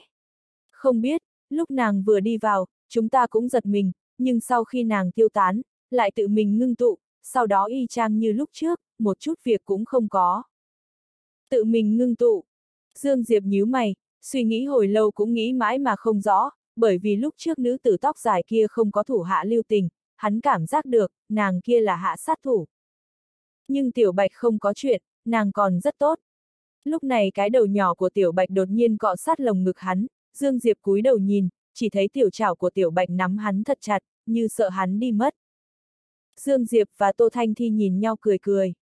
Một lúc lâu sau, Dương Diệp khôi phục bốn năm thành. Dương Diệp ôm Tiểu Bạch còn đang ngủ đi tới trong phòng tu luyện, hắn xếp bằng ngồi dưới đất, sau đó thả Tiểu Bạch ở trên vai. Hai mắt Dương Diệp chậm rãi đóng lại. Hồi tưởng hết thảy lúc trước. Lúc trước, kiếm của hắn phát sinh biến hóa. Hận. Ngay lúc ấy, hắn cảm giác một cỗ lực lượng vô cùng vô tận tràn vào cơ thể, mà cỗ lực lượng này, nguồn gốc là từ hận. Trong một khắc kia, kiếm của hắn uy lực hoàn toàn vượt qua bình thường, hơn nữa là vô số lần. Hiện tại hắn phải nắm giữ cỗ lực lượng kia. Một loại lực lượng kiếm đạo khi hận đến mức tận cùng. Hắn đã mở ra một cánh cửa mới. Một loại lực lượng kiếm đạo cực đoan, giống như vô tình kiếm đạo của tiêu giao tử. Bọn họ đều là cực đoan. Dương Diệp hồi tưởng đến tao ngộ của tiểu bạch lúc trước, trong nháy mắt, cả người hắn đỏ lên như máu. Sát ý ngút trời. Thời gian dần trôi qua, kiếm của Dương Diệp bắt đầu rung động, không chỉ như thế, cả người hắn cũng bắt đầu không bình thường. Hận chi kiếm đạo, kỳ thật là ma đạo. Ma đạo chân chính. Bởi vì lúc này không cách nào khống chế tâm tình mình, sẽ làm cho người hoàn toàn mất đi lý trí. Kỳ thật này tương đương với phong ma huyết mạch lúc trước, chỉ có điều bất đồng chính là, lúc trước hắn là vì huyết mạch mà phong ma, nhưng bây giờ hắn bởi vì kiếm mà phong ma. Lấy kiếm phong ma. Trong phòng tu luyện, cả người Dương Diệp đã hoàn toàn điên cuồng lên, giờ khắc này, cả hồng mông tháp cũng bắt đầu rung động. Vô số sinh linh nhao nhao nhìn về phía phòng tu luyện, trong mắt tràn đầy kiêng kỵ và kinh hãi. Tình trạng của Dương Diệp kinh động đến Tiểu Bạch, chứng kiến Dương Diệp biến thành như vậy, Tiểu Bạch vội vàng bay đến trước mặt hắn, sau đó ôm lấy Dương Diệp. Thân thể Dương Diệp vẫn rung rung. Nhưng hắn không có bạo động. Sau một lúc lâu, hai mắt hắn chậm rãi đóng lại, sau đó chia tay nhẹ nhàng vuốt vuốt đầu nhỏ của Tiểu Bạch. Không sợ. Tiểu Bạch nhìn thoáng qua Dương Diệp, mặc dù Dương Diệp nhìn rất đáng sợ, nhưng hai mắt rất thanh minh, không có mất phương hướng. Dương Diệp mang theo Tiểu Bạch đi ra phòng tu luyện, hẳn ngẩng đầu nhìn về phía cuối chân trời, trong lòng thấp giọng thở dài.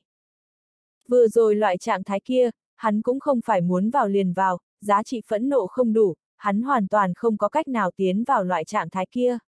Nhưng một khi tiến vào loại kiếm đạo ý cảnh kia, thực lực của hắn cơ hồ tăng lên gấp 10 lần. Bất quá còn tốt, hắn là một người dễ dàng nổi giận. Nhìn bầu trời phía xa, Dương Diệp rơi vào trầm mặc. Địch nhân. Lúc này đây, hắn phát hiện địch nhân của hắn không phải chỉ có mạt pháp chi địa, còn có nữ tử váy dài kia. Sau một lúc lâu, Dương Diệp cúi đầu nhìn về phía Tiểu Bạch trong ngực, nói khẽ. Tiểu Bạch, lúc đó sao ngươi lại không có việc gì? Tiểu Bạch là bị hành đạo kiếm kia đâm thủng thân thể. Nhưng bây giờ, Tiểu Bạch hoàn hảo ở trước mặt hắn, một chút sự tình cũng không có. Nghe được lời của Dương Diệp, Tiểu Bạch quơ quơ Tiểu Chảo. Rất hưng phấn. Một lát sau, Dương Diệp đã minh bạch. Sau khi thân thể Tiểu Bạch hư ảo, bản thân nàng có thể tụ tập. Không sai. Bản thân nàng cũng không biết vì sao mình có thể tụ tập thân thể đã phân tán. Nói đơn giản một chút là, hình như nàng không chết được. Dương Diệp chính là hiểu như vậy. Bất quá cái này cũng bình thường, phải biết Tiểu Bạch đã từng là thiên địa trí thiện, năm đó bản thể thiên mệnh cũng không thể giết chết nàng.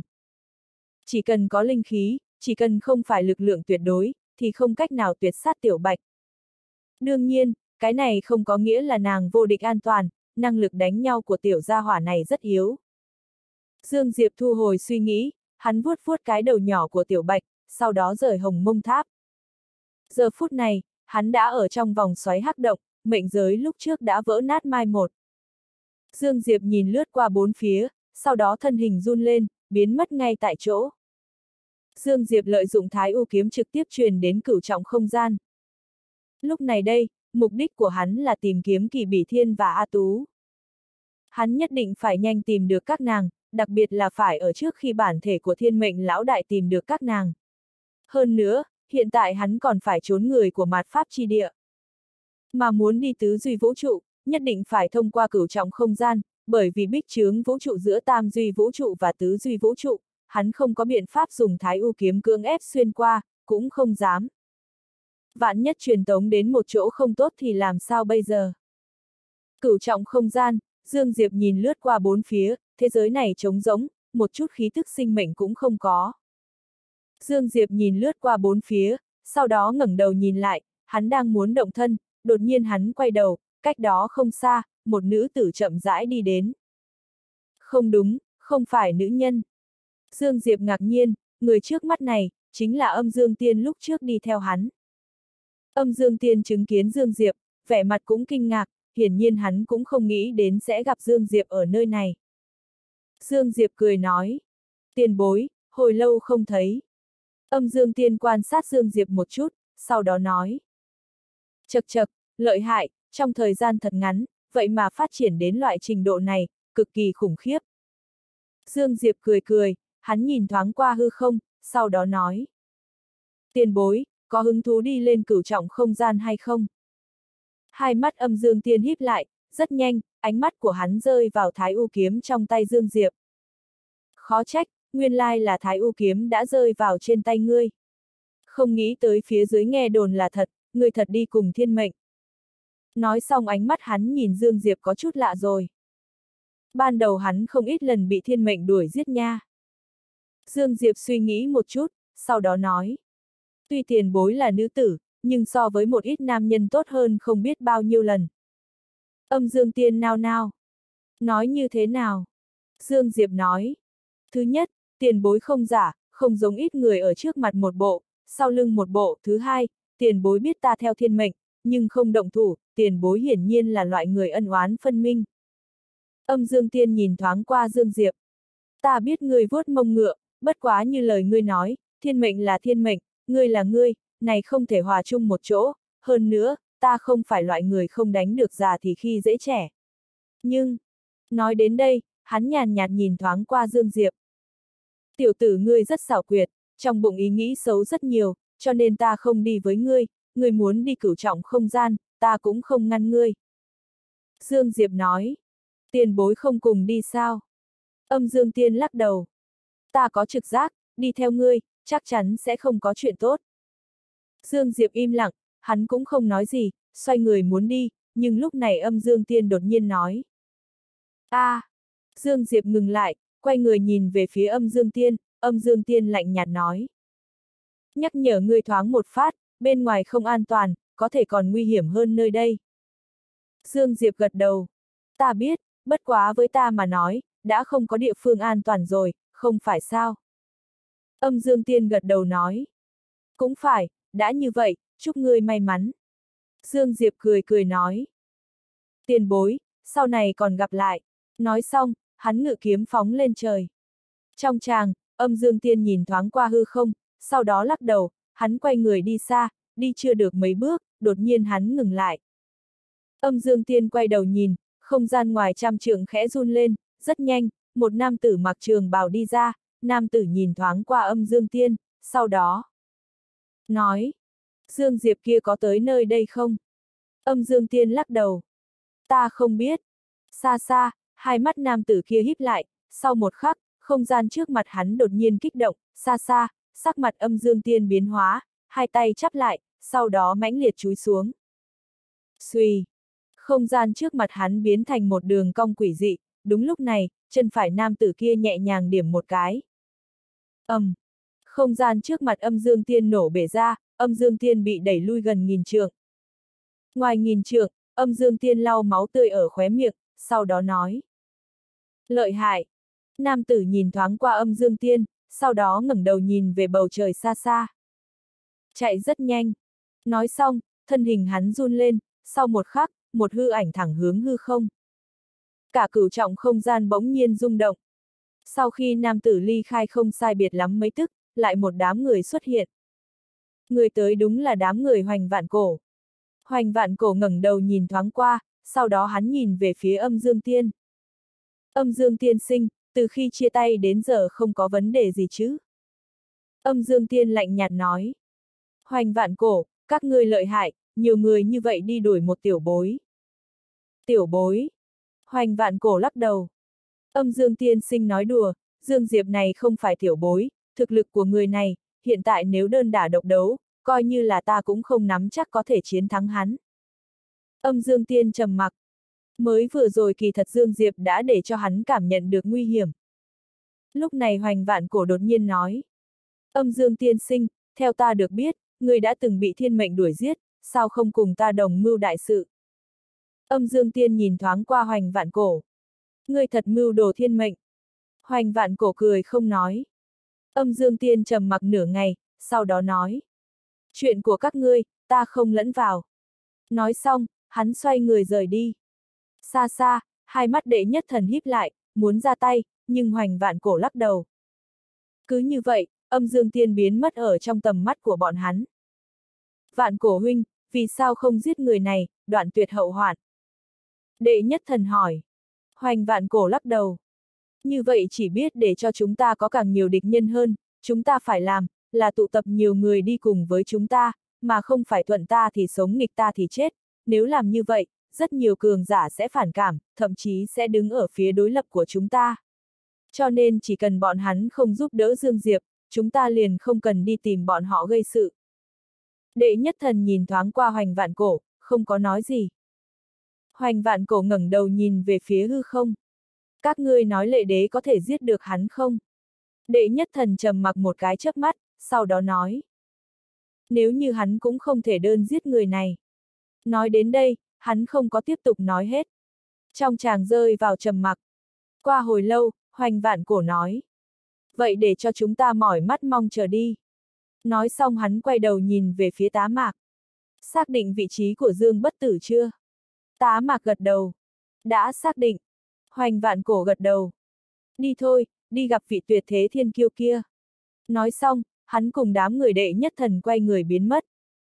Trong hư không vô tận, Dương Diệp ngự kiếm đi nhanh, tốc độ của hắn rất nhanh, đã xé rách không gian, thời khắc này, hắn đã ở trong thông đạo không gian. Cứng rắn bổ ra không gian. Hiện tại hắn đang điên cuồng bổ cửu trọng không gian, sau đó đạt tới bên ngoài cửu trọng không gian. Cũng chính là biên giới tứ duy vũ trụ. Lúc này đây, Dương Diệp không có dùng thái u kiếm và vãng sinh kiếm. Hắn muốn dựa vào thực lực chân chính của mình lao ra tam duy vũ trụ. Bởi vậy độ khó rất lớn, mới đầu còn tốt, nhưng thời gian dần trôi qua, hắn đã có chút tỏ ra lực bất tòng tâm. Càng đi lên, cường độ không gian kia càng khủng bố, cho dù là kiếm của hắn, cũng khó có thể dung chuyển mảy may. Này không phải trọng yếu nhất, quan trọng nhất là không gian chung quanh đã bắt đầu phản kích rồi. Vô số không gian bắt đầu chậm rãi đè ép về phía hắn, từng đạo không gian chi lực tựa như hồng thủy không ngừng vào tới. Thần sắc Dương Diệp ngưng trọng lên. Đúng lúc này, Dương Diệp quay người, chỗ đó, một nam tử lăng không xuất hiện. Nam tử mặc trường bào, hắn nhìn thoáng qua Dương Diệp, đang định nói, nhưng Dương Diệp đột nhiên rút kiếm bổ đến. Hai mắt nam tử híp lại. Không theo sáo lộ an bài. Ta đến rồi, một. Trung niên cũng không nghĩ đến Dương Diệp vừa thấy mặt đã rút kiếm. Trong mắt hắn, như thế nào cũng phải tâm sự trước a. À. Nhưng Dương Diệp gặp mặt thì đánh. Mặc dù có chút ngoài dự liệu, bất quá trung niên phản ứng cực nhanh, kiếm của Dương Diệp vừa tới trước mặt, cả người hắn đã lui về phía sau 10 trường. Một kiếm thất bại, Dương Diệp xuất kiếm lần nữa, nhưng lúc này, một tàn ảnh bắn về phía hắn. Đúng là trung niên kia. Hai mắt Dương Diệp híp lại, có chút nghiêng người, tay cầm kiếm cắt ngang. Đúng lúc này, một cái tay nắm lấy kiếm của. Hán, tay không bắt kiếm. Trong chớp mắt này, Dương Diệp quyết đoán bỏ kiếm, mà ở trong tay hắn, lập tức xuất hiện một thanh kiếm, không đúng, là hai thanh kiếm. Lúc này đây, hai thanh kiếm là Thái U và Vãng Sinh. Ngay một khắc này, trung niên kia đột nhiên buông lỏng kiếm ra, nhẹ nhàng lui về sau trăm trượng. Trong nháy mắt hắn rời đi đó, chỗ hắn đứng, hai thanh kiếm hung ác chạm xuống. Dương Diệp ngừng lại, hắn ngẩng đầu nhìn về phía trung niên, trong đôi mắt cực kỳ ngưng trọng. Ý thức chiến đấu của đối phương thật khủng khiếp. Dương Diệp cũng không có ra tay. Bởi vì giờ khắc này, không gian chung quanh đã đè ép tới. Đây không phải cửu trọng không gian. Xa xa, trung niên kia quan sát Dương Diệp một chút. Khó trách mặt Pháp chỉ địa nguyện ý bỏ ra một cái giá lớn lớn như vậy mời ta, người xác thực có tài. Nói xong, tay phải hắn khẽ nâng lên, nhẹ nhàng rung động. ầm, um, những không gian đè ép mà đến kia đột nhiên bị đẩy lui gần nghìn trượng. Sau một khắc, suy, một âm thanh nứt vỡ vang lên. Xa xa, hai mắt Dương Diệp híp lại, sau một khắc, chân phải hắn nhẹ nhàng điểm một cái, cả người hóa thành một tia kiếm quang bắn ra. Thoáng qua, ầm, um, một tiếng nổ vang vọng lên, ngay sau đó, một nhân ảnh bay ra ngoài. Đúng là Dương Diệp. Ngoài trăm trượng, Dương Diệp vừa dừng lại, ở trước mặt hắn, một hắc ảnh bắn tới. Đối phương căn bản không cho hắn cơ hội thở dốc. Hai mắt Dương Diệp chậm rãi đóng lại, trong hai tay hắn, hai thanh kiếm rung động kịch liệt. Rất nhanh, đạo hắc ảnh kia đã đến. Lúc này Dương Diệp mở hai mắt ra. Suy suy suy suy suy. Trong nháy mắt, vô số kiếm khí và kiếm ý xuất hiện ở quanh người Dương Diệp. Phương thốn kiếm vực. Nhưng hắc ảnh kia cũng không dừng lại, rất nhanh, một cánh tay đánh vào trên phương thốn kiếm vực. ầm, um, không gian run lên, sau đó vặn vẹo, bất quá rất nhanh, không gian chung quanh khôi phục bình thường.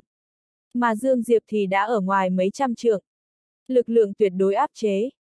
Xa xa, Dương Diệp lau máu tươi ở khóe miệng, người trước mắt này, thực lực rất mạnh, ấn suy đoán của hắn, sợ là chỉ kém phân thân thiên mệnh lão đại một chút. Rất đáng sợ. Không thể phủ nhận, bốn người thiên mệnh, đặc biệt là lão đại kia, nàng đã vượt xa tam duy vũ trụ này rất nhiều. Nếu như bốn người các nàng hợp thể, sợ là càng thêm kinh khủng. Xa xa, trung niên kia cúi đầu nhìn tay phải của mình, trên tay phải xuất hiện rất nhiều vết máu, trừ lần đó ra, trên người hắn cũng có thật nhiều kiếm khí đang tàn phá. Trầm mặc một cái chớp mắt, tay phải trung niên nhẹ nhàng vung lên, những kiếm khí quấn quanh người hắn lập tức biến mất vô tung vô ảnh. Trung niên lạnh lùng nhìn thoáng qua Dương Diệp. Lại có thể làm tổn thương ta. Dương Diệp không nói nhảm, thân hình run lên, thoáng qua, một tia kiếm quang đã tới trước mặt trung niên. Lúc này trung niên lấy tay hóa trưởng, cứng rắn chặn một kiếm này của Dương Diệp. Bất quá trong kiếm của Dương Diệp ẩn chứa lực lượng cường đại cũng trong nháy mắt chấn trung niên kia liên tục lùi lại. Trung niên vừa định phản kích, nhưng lúc này, mấy thanh phi kiếm đột nhiên xuất hiện ở bốn phía. Ngũ hành kiếm. Năm thanh kiếm tựa như năm Dương Diệp, kiếm kiếm trực chỉ chỗ hiểm của trung niên. Trung niên nhíu mày, hắn không có cùng Dương Diệp khoảng cách gần tác chiến, mà lui về phía sau mấy trăm trượng, kéo ra khoảng cách khá xa. Dương Diệp vừa muốn tiếp tục ra tay, lúc này, hai mắt trung niên kia chậm rãi đóng lại, sau một khắc, hai tay hắn nắm chắc thành quyền, chân phải nhẹ nhàng bước ra. Xuy! Trong nháy mắt, thân thể trung niên phân tán ra, rất nhanh, gần 10 tàn ảnh dùng phương hướng bất đồng bắn về phía Dương Diệp. Giờ khắc này, sắc mặt Dương Diệp đại biến. Không có suy nghĩ nhiều, hai tay Dương Diệp cầm kiếm mãnh liệt bổ một phát. Song kiếm thành vực. Nhưng... Phanh phanh phanh phanh phanh. Từng tiếng rên liên miên bất tuyệt không ngừng vang lên, mà mỗi một tiếng rên vang lên, Dương Diệp sẽ lùi lại ít nhất trăm. Trương. Trong khoảng thời gian ngắn, Dương Diệp lui gần nghìn trượng. Một hơi sau, trong chàng bình tĩnh lại. Trung niên đã về chỗ cũ, hắn nhìn thoáng qua Dương Diệp, khóe miệng nổi lên vẻ chế nhạo. Nguyên lai trên người còn mặc một bảo giáp siêu thần khí.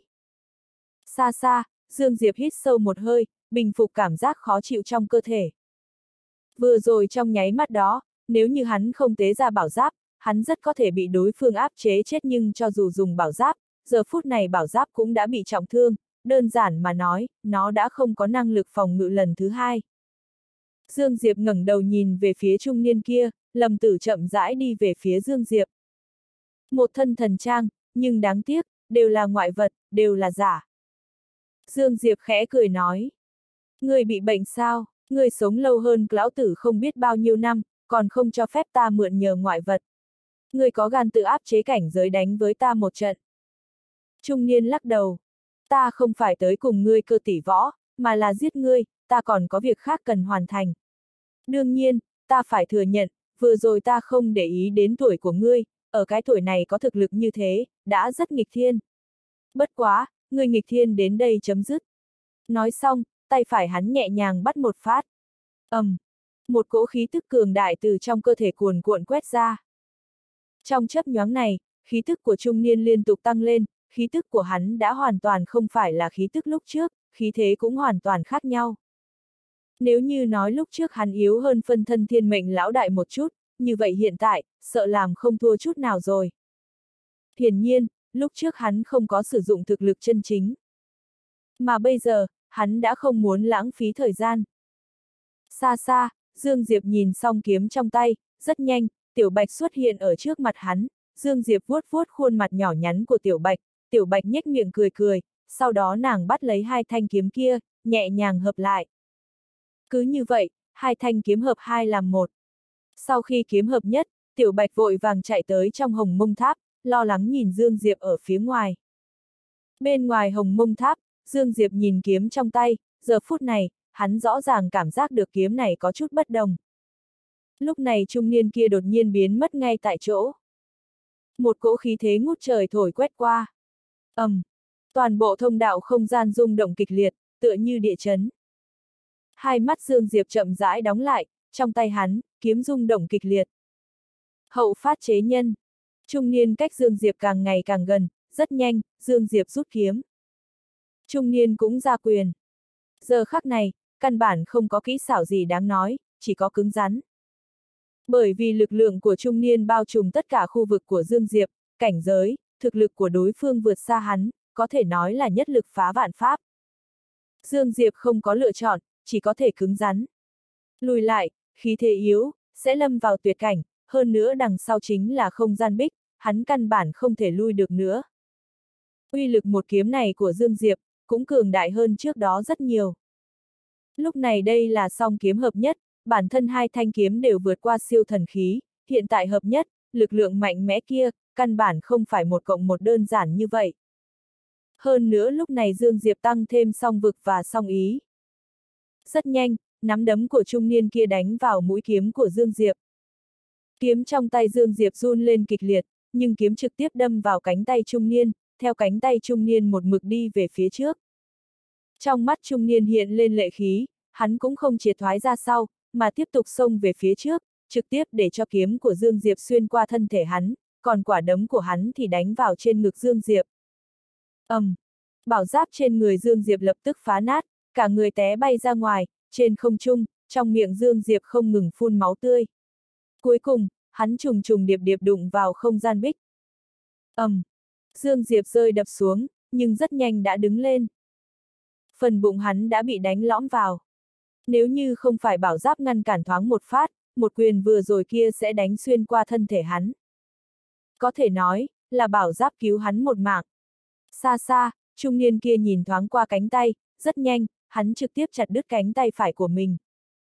Bởi vì trong cánh tay phải ẩn chứa vãng sinh chi lực của Dương Diệp, cỗ lực lượng kia đang điên cuồng cắn nuốt hắn, nếu không bỏ qua cánh tay, ngay cả mạng cũng có thể không còn. Trung niên ngẩng đầu nhìn về phía Dương Diệp. Thiếu chút nữa thì lật thuyền rồi. Nói xong, cánh tay phải của hắn lấy tốc độ mà mắt thường cũng có thể thấy được dài ra. Sau khi cánh tay phải khôi phục, trung niên chậm rãi đi về phía Dương Diệp. Một luồng áp lực vô hình trống rỗng xuất hiện ở trên đỉnh đầu của Dương Diệp. Xa xa, hai mắt Dương Diệp chậm rãi đóng lại, tay phải hắn nắm kiếm thật chặt, thời gian dần trôi qua, cả người hắn bắt đầu rung động, tóc từng chút từng chút biến đỏ. Hận chi kiếm đạo, nói đơn giản chính là ma kiếm đạo. Loại kiếm đạo này, kỳ thật là ma đạo. Ngay tại Dương Diệp muốn triệt để tiến vào loại trạng thái kia lúc. Ta đến rồi. Lúc này một giọng nói đột nhiên vang lên bên tai Dương Diệp. Thanh âm quen thuộc. Dương Diệp ngừng lại, quay đầu nhìn, bên phải hắn, một nữ tử đứng ở nơi đó. An Nam Tĩnh.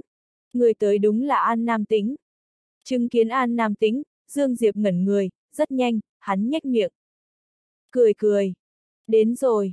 An Nam Tĩnh gật đầu, đi tới bên cạnh. Dương Diệp. Dương Diệp và An Nam Tĩnh nhìn về phía trung niên kia, trung niên quan sát An Nam Tĩnh một chút, hai mắt hơi híp lại. Mà Dương Diệp và An Nam Tĩnh không có nói nhảm chút nào, hai người trực tiếp biến mất ngay tại chỗ. Sắc mặt trung niên đại biến. Hai tay của hắn trồng chất, ấn về phía trước. Không gian tách rời, lập tức mai một. Nhưng lúc này, một cây trường thương phá không tới. Chiến qua. Chiến qua của An Nam tính đâm vào lòng bàn tay của trung niên, nhưng thương này không thể đâm rách tay hắn, trung niên cứng rắn cản lại. Không chỉ như thế, chiến qua càng cong lại. Bất quá ngay lúc này, đồng tử của trung niên bỗng nhiên co rụt lại, hắn vội vàng thu tay, bởi vì ở phía sau hắn, một thanh kiếm lặng yên chém tới. Trung niên phản ứng cực nhanh, hai tay mãnh liệt kẹp lấy, trực tiếp kẹp được thanh trường kiếm kia, nhưng phía sau hắn, trường thương lại hung ác đâm đến. Thần sắc trung niên giữ tợn, hai cánh tay buông lỏng, thân hình lóe lên, nhanh chóng lui ra trăm trượng. Nhưng một vết máu tươi từ vai trái hắn bắn ra. Trung niên vừa dừng lại, Dương Diệp và An Nam Tĩnh đã tới trước mặt hắn. Kiếm đâm, thương kích, thân hình của An Nam Tĩnh và Dương Diệp không ngừng đan sen, trong nháy mắt, quanh người trung niên bị vô số thương ảnh và bóng kiếm bao trùm. Áp chế. Hoàn toàn bị áp chế. Giờ khắc này, trung niên kia ngay cả sức đánh trả cũng không có. Trong một đời tuổi trẻ, duy nhất có thể cùng Dương Diệp cận thân giao thủ, chỉ có An Nam Tĩnh. An Nam Tĩnh là một người duy nhất cận chiến không thua hắn, thậm chí còn vượt qua hắn. Mà bây giờ, thực lực của An Nam Tĩnh cường đại hơn trước rất nhiều. Nàng và Dương Diệp liên thủ. Trung niên lần lượt tháo chạy, ngắn ngủn 10 hơi, quanh người đã xuất hiện vô số vết kiếm và vết thương. Bất quá thực lực của trung niên hiển nhiên cũng cực kỳ khủng bố, tuy trên người càng ngày càng nhiều tổn thương, nhưng đều không nguy hiểm đến tánh mạng.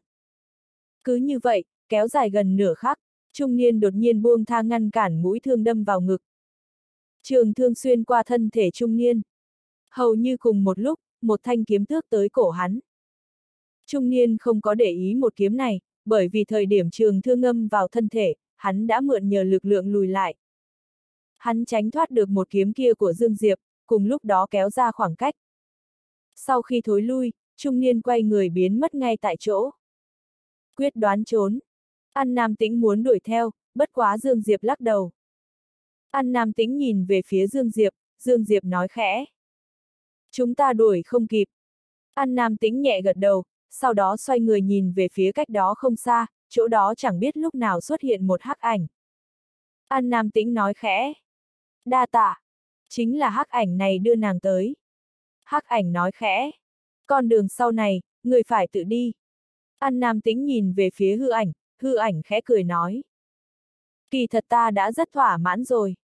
Nói xong hắc ảnh nhìn Dương Diệp. Nói thật, cũng phải nói với người tiếng cảm ơn. Dương Diệp có chút khó hiểu. Hắc ảnh nói. Nếu như không phải các ngươi, ta cũng ra không được. Dương Diệp đã hiểu. Lúc trước hắc ảnh này là tiểu bạch và nhị nha mang ra ngoài, hắc muội không có ngăn cản. Mới đầu hắn cho rằng hắc ảnh này cùng đám người hắc muội là một phe, nhưng hiện tại xem ra. Hắc ảnh như biết rõ ý nghĩ của Dương Diệp, lại nói. Ta cùng các nàng, cũng không tính là địch nhân, vì chúng ta còn có địch nhân lớn nhất. Bất quá cũng không tính là bằng hữu. Cẩn thận thiên mệnh lão đại kia, ý nghĩ của nàng là cực đoan nhất, thực lực cũng kinh khủng nhất. Năm đó Dương bất tử tung hoành vô địch, chính là bại trong tay nàng, kỳ thật người thời đại kia của chúng ta, cơ bản đều có thể nói là bại tướng dưới tay của nàng. Dương Diệp trầm giọng nói. Nếu các nàng hợp thể, thực lực sẽ kinh khủng như thế nào? Hắc ảnh trầm mặc một cái chớp mắt, sau đó nói. Lúc đầu nàng đã hoàn toàn vượt qua thiên đạo, nhiều năm như vậy, nàng chia làm bốn phân thân, bốn phân thân tự mình tu luyện, đây là một loại công pháp của nàng, bản thân nàng tự nghĩ ra. Nói đến đây, hắn khẽ lắc đầu. Kỳ thật, nàng ở trong mắt chúng ta cũng rất thần bí. Ta chỉ biết, năm đó vô số người khiêu chiến nàng, nhưng đều thất bại. Dương Diệp trầm mặc, hắc ảnh lại nói. Bốn thiên mệnh, bốn loại tính cách, hiện tại xem ra, nữ tử váy trắng và nữ tử váy đen đều yêu thích ngươi, nhưng đồ sát và một cái khác, người nhất định phải cẩn thận, đặc biệt là lão đại của các nàng. Dương Diệp nhẹ gật đầu. Đa tạ nhắc nhở. Hắc ảnh nhìn An Nam Tĩnh. Lúc trước, con đường của ta ta đã đi đến cuối, hy vọng ngươi có thể đi xa hơn ta. Nói xong, thân thể của hắn dần dần hư ảo. Bên cạnh Dương Diệp, An Nam Tĩnh cung kính thi lễ. Một hơi sau, hắc ảnh kia hoàn toàn biến mất ở trước mặt của Dương Diệp và An Nam Tĩnh. Chân chính biến mất. Trong tràng, Dương Diệp nhìn về phía An Nam Tĩnh, An Nam Tĩnh trầm mặc hồi lâu, cuối cùng nàng nhìn về phía Dương Diệp. Đi đâu? Dương Diệp quay đầu nhìn về phía xa xa, đi biên giới tứ duy vũ trụ. An Nam Tĩnh nhẹ gật đầu, sau đó tiến vào hồng mông tháp. Trong hồng mông tháp, Tiểu Bạch xuất hiện ở trước mặt An Nam Tĩnh, Tiểu Bạch nhìn An Nam Tĩnh nhếch miệng cười cười, nhưng An Nam Tĩnh mặt không biểu tình. Tiểu Bạch có chút sợ. Đột nhiên, An Nam Tĩnh nhẹ nhàng vuốt vuốt cái đầu nhỏ của nàng, sau đó xoay người đi vào phòng tu luyện. Tại chỗ, Tiểu Bạch trừng mắt nhìn, rất nhanh, nàng vội vàng đi theo, bên ngoài hồng mông tháp, Dương Diệp nhìn lướt qua bốn phía, hắn trầm mặc hồi lâu, sau đó nói. Nếu không chúng ta trước đừng đi tứ duy vũ trụ. An Nam tính xuất hiện ở trước mặt hắn. Dương Diệp nói khẽ. Đồ sát khi dễ ta, thiên mệnh lão đại cũng khi dễ ta, những tạp chủng này đều khi dễ ta, ta cảm thấy ta như một quả bóng ra, bọn hắn ai cũng có thể đến đá vài cái. Nói xong hắn nhìn về phía An Nam Tĩnh. Ta càng nghĩ càng giận. An Nam Tĩnh nhẹ gật đầu. Giết bọn chúng đi. Dương Diệp hít sâu một hơi. Bọn hắn đều cho rằng ta sẽ chạy, lúc này đây, lão tử không chạy. Đi, chúng ta đi giết long trời lở đất. Nói xong Dương Diệp nắm tay An Nam Tĩnh quay người đi xuống phía dưới. Trong hồng mông tháp, Tiểu Bạch nhìn bảo giáp đã tan vỡ, tiểu trào nhẹ khẽ vuốt vuốt bảo giáp, rất nhanh, vô số linh khí hội tụ, chỉ chốc lát, bảo giáp tự động khép lại. Nếu để cho trung niên kia nhìn thấy một màn này, sợ là sắc mặt sẽ rất đặc sắc. Tiểu Bạch tựa như một thợ rèn, không phải tựa như, nàng hoàn toàn chính là thợ rèn, hơn nữa còn là thợ rèn lợi hại nhất trong thiên địa. Không bao lâu, bảo giáp đã được nàng chữa trị. Bây giờ bảo giáp đã hoàn hảo như lúc ban đầu. Chữa trị xong, tiểu bạch vội vàng ôm lấy giáp ra hồng mông tháp, nàng đưa bảo giáp tới trước mặt Dương Diệp, khắp khuôn mặt là nụ cười sáng lạn. Dương Diệp và An Nam Tĩnh nhìn nhau, trong mắt hai người đều mang theo mỉm cười, Dương Diệp cầm lấy bảo giáp, sau đó đưa cho An Nam Tĩnh, An Nam Tĩnh lắc đầu, Dương Diệp kiên trì, nhưng An Nam Tĩnh càng kiên trì. Dương Diệp có chút bất đắc dĩ. An Nam Tĩnh nói khẽ. Bọn hắn ghim ngươi, trên người ngươi, có lẽ vào thời điểm mấu chốt có thể có tác dụng. Nói xong nàng nhìn thoáng qua Dương Diệp. Mang lên đi. Dương Diệp không có dây dưa, dây dưa nhiều chính là làm kiêu. Hắn thu bảo giáp, sau đó nhìn về phía tiểu bạch, cười nói. Tiểu gia hỏa, người thật lợi hại. Những lời này là phát ra từ phế phủ.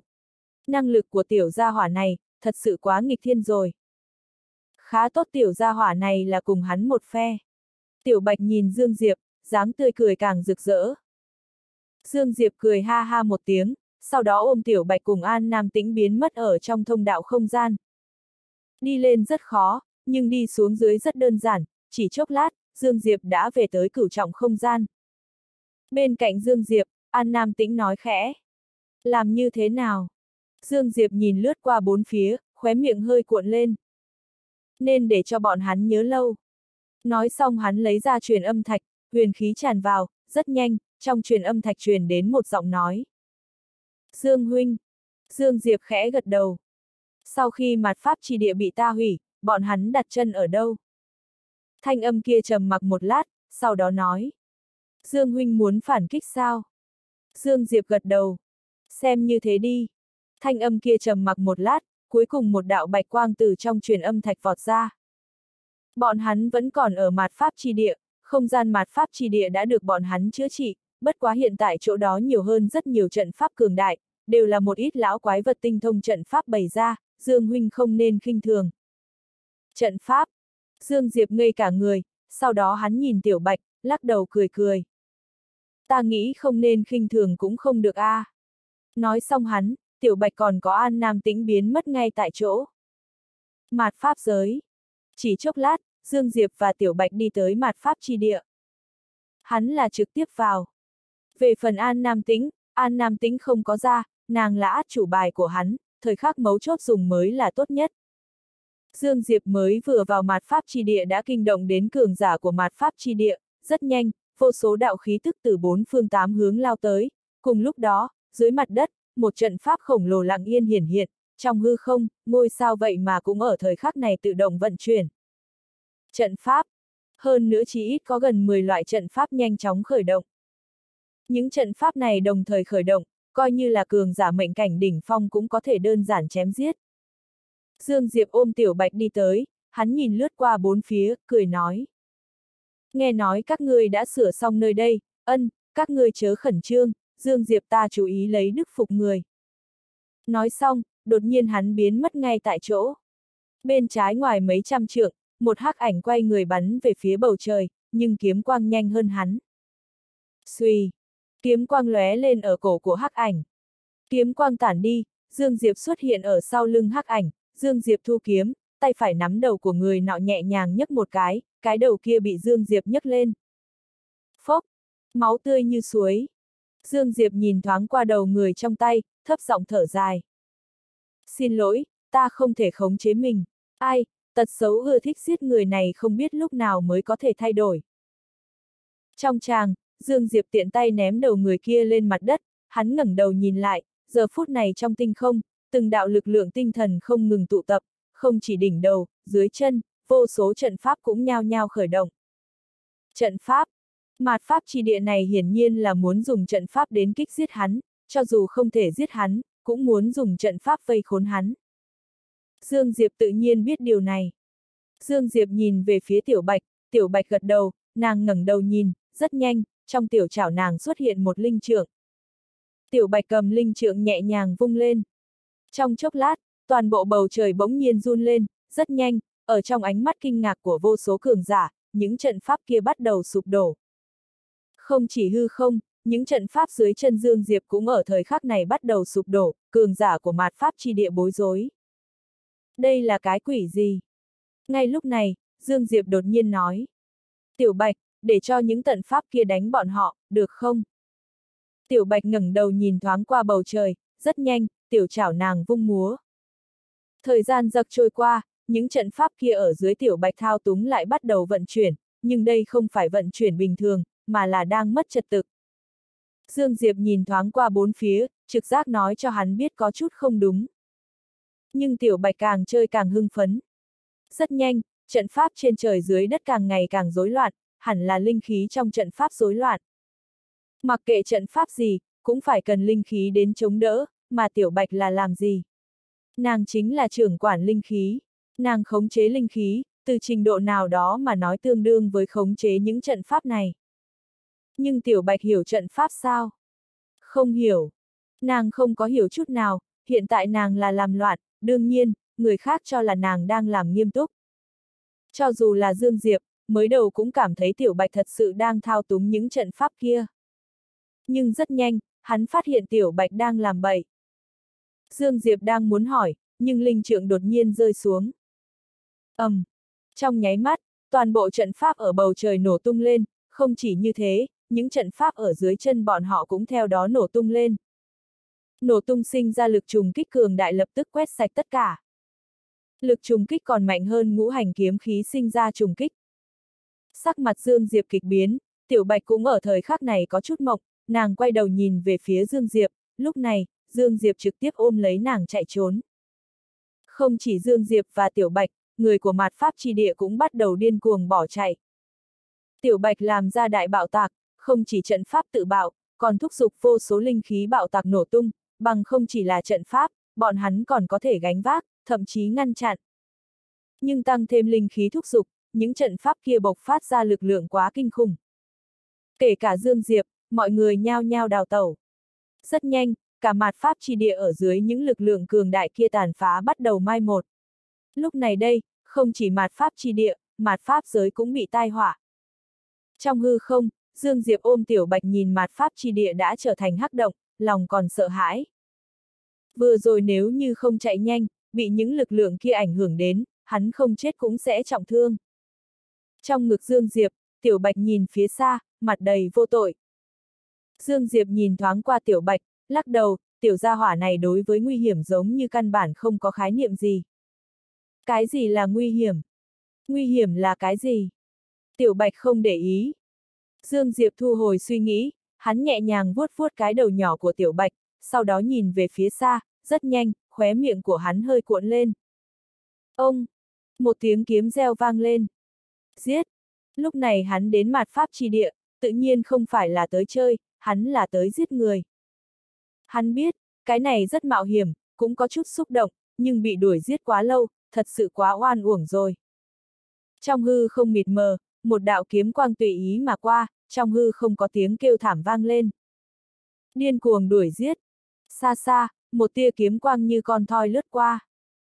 Đằng sau kiếm quang, thân thể một cường giả mệnh cảnh nổ bể ra. Kiếm quang tản đi, Dương Diệp xuất hiện ở chỗ đó. Dương Diệp không có ra tay, hắn quay đầu nhìn lại, chỗ đó chẳng biết lúc nào xuất hiện một đám người. Đúng là đám người hoành vạn cổ. Hoành vạn cổ cầm đầu. Dương Diệp không chỉ nhìn thấy hoành vạn cổ, còn có Mặc Du, Tám Mạc, Đệ Nhất Thần, còn có trung niên lúc trước ở trong thông đạo không gian đuổi giết hắn. Trung niên này là lệ đế. Hoành vạn cổ nhìn thoáng qua mặt pháp chi địa, sau đó nói khẽ. Không nghĩ tới vừa xây xong ngươi đã tới. Ha ha, chúng ta thật sự là rất thất bại. Nói xong hắn nhìn về phía bụng của Dương Diệp. Hơn nữa chúng ta cũng thật ngu xuẩn, biết rõ ngươi có thiện linh, lại còn muốn dùng trận pháp để đối phó ngươi, thật sự là ngu không ai bằng A. Tiểu Bạch, cả mặt pháp trì địa đều có chút xem nhẹ tiểu tử kia rồi, bởi vì nàng xem ra chỉ biết bán manh mà thôi, quá vô hại rồi. Đúng là nguyên nhân này, mặt pháp trì địa mới không để ý đến nàng. Nhưng giờ phút này bọn hắn mới phát hiện, tiểu gia hỏa kia còn đáng sợ hơn Dương Diệp. Hoành vạn cổ thu hồi suy nghĩ, sau đó nhìn về phía Dương Diệp. Người dám tới nơi này, ngoại trừ nàng kia ra, hẳn còn có chuẩn bị ở sau, đúng không? Dương Diệp cười nói. Ngươi đoán đi. Hoành vạn cổ lắc đầu cười cười. Này còn cần đoán sao? Bất quá mặc kệ hôm nay ngươi có hậu thủ gì, hôm nay ngươi cũng không thể ly khai nơi này. Nói xong hắn nhìn thoáng qua mấy người bên cạnh. Đồng loạt ra tay. Đồng loạt ra tay. Hắn biết rõ, đơn đả độc đấu, ai cũng đừng nghĩ đơn giản bắt lại Dương Diệp, đặc biệt là hiện tại bên người Dương Diệp còn có một nữ nhân, hai người này liên thủ, ngay cả lệ đế cũng có thể đánh bại. Đám người mặc dù cũng không phản đối, mọi người đang muốn ra tay, ngay lúc này, bầu trời xa xa, một đạo kiếm quang kích xạ. Tói! Hai mắt hoành vạn cổ híp lại, quay đầu nhìn, chỗ đó, một lão giả ngự kiếm mà đến, ở sau lưng còn có một Mỹ phụ tố bảo. Kiếm vô địch! Nhìn thấy kiếm vô địch, thần sắc của hoành vạn cổ lập tức âm trầm. Kiếm vô địch rơi vào bên cạnh Dương Diệp, mà Mỹ Phụ bên cạnh hắn thì tò mò đánh giá Dương Diệp. Dương Diệp nhìn về phía kiếm vô địch. Sư tổ. Kiếm vô địch tự nhiên là hắn thông báo. Nếu như muốn quần chiến, tự nhiên là phải gọi người đến mới được. Kiếm vô địch nhìn thoáng qua Dương Diệp, khẽ gật đầu. Thực lực so với trước mạnh hơn không chỉ một điểm, xem ra ngươi lại có kỳ ngộ. Dương Đơ Liệp cười cười, sau đó nhìn về phía Mỹ Phụ Tố Bảo bên người kiếm vô địch. Vị tiền bối này là... Mỹ Phụ Tố Bảo kia khẽ cười nói. Ta sầm như bạn thân của sư tổ ngươi, tên Thanh Huyền. Dương Diệp vội vàng thi lễ. Vãn bối bái kiến Thanh Di. Thanh Huyền nhìn thoáng cơ ca kiếm vô địch, cười nói. Đồ tôn này so với đệ tử kia của ngươi còn dối trá hơn nhiều. Dương Diệp. Kiếm vô địch chừng Dương Diệp, sau đó nói. Có nắm chắc không? Dương Diệp lắc đầu. Chỉ là liều mạng. Kiếm vô địch khẽ gật đầu, sau đó xoay người nhìn về phía đám người hoành vạn cổ, hoành vạn cổ cười nói. Xem ra ta đã không cần phải nhiều lời. Nói xong hắn nhìn về phía lệ đế. Lệ huynh, người này giao cho ngươi, như thế nào? Lệ đế nhìn thoáng qua kiếm vô địch, lạnh nhạt nói. Có thể. Nói xong thân hình hắn run lên, phóng lên trời. Hoành vạn cổ nhìn về phía kiếm vô địch, cười nói. Xin mời. Kiếm vô địch cũng không nói nhảm, thân hình run lên, bắn về phía không trung. Hoành vạn cổ nhìn về phía Thanh Huyền. Sưng hô như thế nào? Thanh Huyền cười nói. Các ngươi tùy tiện đến đánh với ta đi. Hoành vạn cổ nhìn về phía đệ nhất thần, đệ nhất thần lạnh nhạt nói. Giao cho ta. Nói xong, hắn cùng Thanh Huyền đồng thời biến mất. Trung quanh hoành vạn cổ còn có mặc du, tá mạc, thương đao khách, cùng với hai trung niên và một cung trang mỹ phụ, còn có một lão giả. Toàn bộ đều là cường giả mệnh cảnh đỉnh phong. Trừ lần đó ra, bốn phía còn có gần 20 vị cường giả mệnh cảnh. Tất cả cường giả mệnh cảnh của chư thiên vạn giới, chỉ ít có 8 phần ở chỗ này. Tinh nhuệ của cả mạt pháp chi địa cơ bản đều ở nơi này. Hoành vạn cổ nhìn về phía Dương Diệp, cười nói. Đánh được chưa? Dương Diệp nhếch miệng cười cười, hắn nhẹ gật đầu, sau đó nói. Chư vị, làm phiền. Hai mắt hoành vạn cổ híp lại. trầm mặc một lát, từng đạo khí thức đột nhiên từ bầu trời tấn công tới, rất nhanh, sau lưng Dương Diệp xuất hiện rất nhiều cường giả. Cầm đầu là vãng sinh tộc tộc trưởng cùng thiên vũ tộc tộc trưởng viêm vũ, còn có đại trưởng lão Dương tộc. Ba tộc tăng thêm bọn hắn có tất cả 9 vị cường giả mệnh cảnh, trong đó 5 vị cường giả mệnh cảnh đỉnh phong. Trừ lần đó ra, thương mộ cùng sát tịch cũng chạy đến. Ở trên số lượng và chất lượng, bên hoành vạn cổ vẫn chiếm thượng phong, bất quá tranh lệch đã không lớn, chỉ ít có năng lực đánh một trận. Hoành vạn cổ nhìn thoáng qua mọi người sau lưng Dương Diệp, cười nói. Khó trách, khó trách. Dương Diệp nhìn thoáng qua hoành vạn cổ. Giết, tốt nhất là giết sạch. Nói xong, hắn đã biến mất ngay tại chỗ. Bên cạnh hoành vạn cổ, tá mạc đột nhiên đứng ra, nhưng đúng lúc này, một nhân ảnh đột nhiên từ trong cơ thể Dương Diệp lướt nhanh ra, đúng là An Nam tính An Nam tính trực tiếp xác định tá mạc, trường thương trực chỉ đối phương. Tá mạc nhíu mày, rút đao chém. ầm, um, An Nam tính và tá mạc lập tức tách ra, hai người lui về phía sau mấy trăm trượng. Sau một khắc, An Nam Tĩnh lần nữa vào tới. Mà Dương Diệp thì đã xuất hiện ở trước mặt hoành vạn cổ, hoành vạn cổ mặt không biểu tình, theo một kiếm chém xuống, tay phải đột nhiên bấm tay điểm một cái. Một điểm này, trực tiếp điểm lên mũi kiếm của Dương Diệp. Ông! Trong tay Dương Diệp, cả chuôi kiếm bỗng nhiên run lên, cùng lúc đó, Dương Diệp lui về sau trăm trượng. Mà hoành vạn cổ thì không chút sức mẻ. Xa xa, hai mắt Dương Diệp híp lại, hắn thật giống như có chút đánh giá thấp thực lực của hoành vạn cổ này rồi. Hoành vạn cổ chắp tay sau lưng, hắn chậm rãi đi về phía Dương Diệp. Kiếm rất mạnh, người cũng rất mạnh. Đến, tiếp tục đến. Tiếp tục đến. Dương Diệp nhếch miệng cười cười, cầm kiếm vào tới. Kiếm khí cường đại đủ để xé rách hết thảy. Xa xa, hoành vạn cổ dừng bước, sau một khắc, hai chân nhẹ nhàng trượt qua, thân thể nửa ngồi, sau đó đấm ra một quyền. Một quyền này, trực tiếp đập nát không gian ở trước mặt hắn. Sau khi không gian vỡ nát, sinh ra lực lượng khổng lồ tăng thêm lực lượng trong nắm đấm, lập tức chấn cả người Dương Diệp bay ra ngoài. Ngoài nghìn trượng, Dương Diệp ngừng lại, hắn nhìn tay phải của mình, giờ phút này, tay phải hắn đã triệt để vỡ ra, máu tươi không ngừng lan tràn. Lực lượng thật mạnh, Dương Diệp hít sâu một hơi, sau đó hắn nhìn lướt qua bốn phía. Bốn phía đã chiến đấu. Từ trên tràng diện đến xem, mặt pháp chi địa có ưu thế. Bởi vì mặt pháp chi địa nhiều người, hơn nữa số lượng cường giả mệnh cảnh đỉnh phong và cường giả mệnh cảnh bình thường đều nhiều hơn bên hắn. Không thể kéo dài. Dương Diệp ngẩng đầu nhìn về phía xa xa, lúc này hoành vạn cổ đột nhiên bước ra một bước. Một bước này, đi thẳng tới trước mặt Dương Diệp. Một quyền. Lại một quyền. Một quyền này, trực chỉ đầu Dương Diệp. Một quyền sinh ra lực lượng, đủ để thiên địa sụp đổ. Lực lượng một quyền này nói cho Dương Diệp biết, bất kỳ kỹ xảo gì cũng không có tác dụng, dưới một quyền này, không có kỹ xảo đáng nói.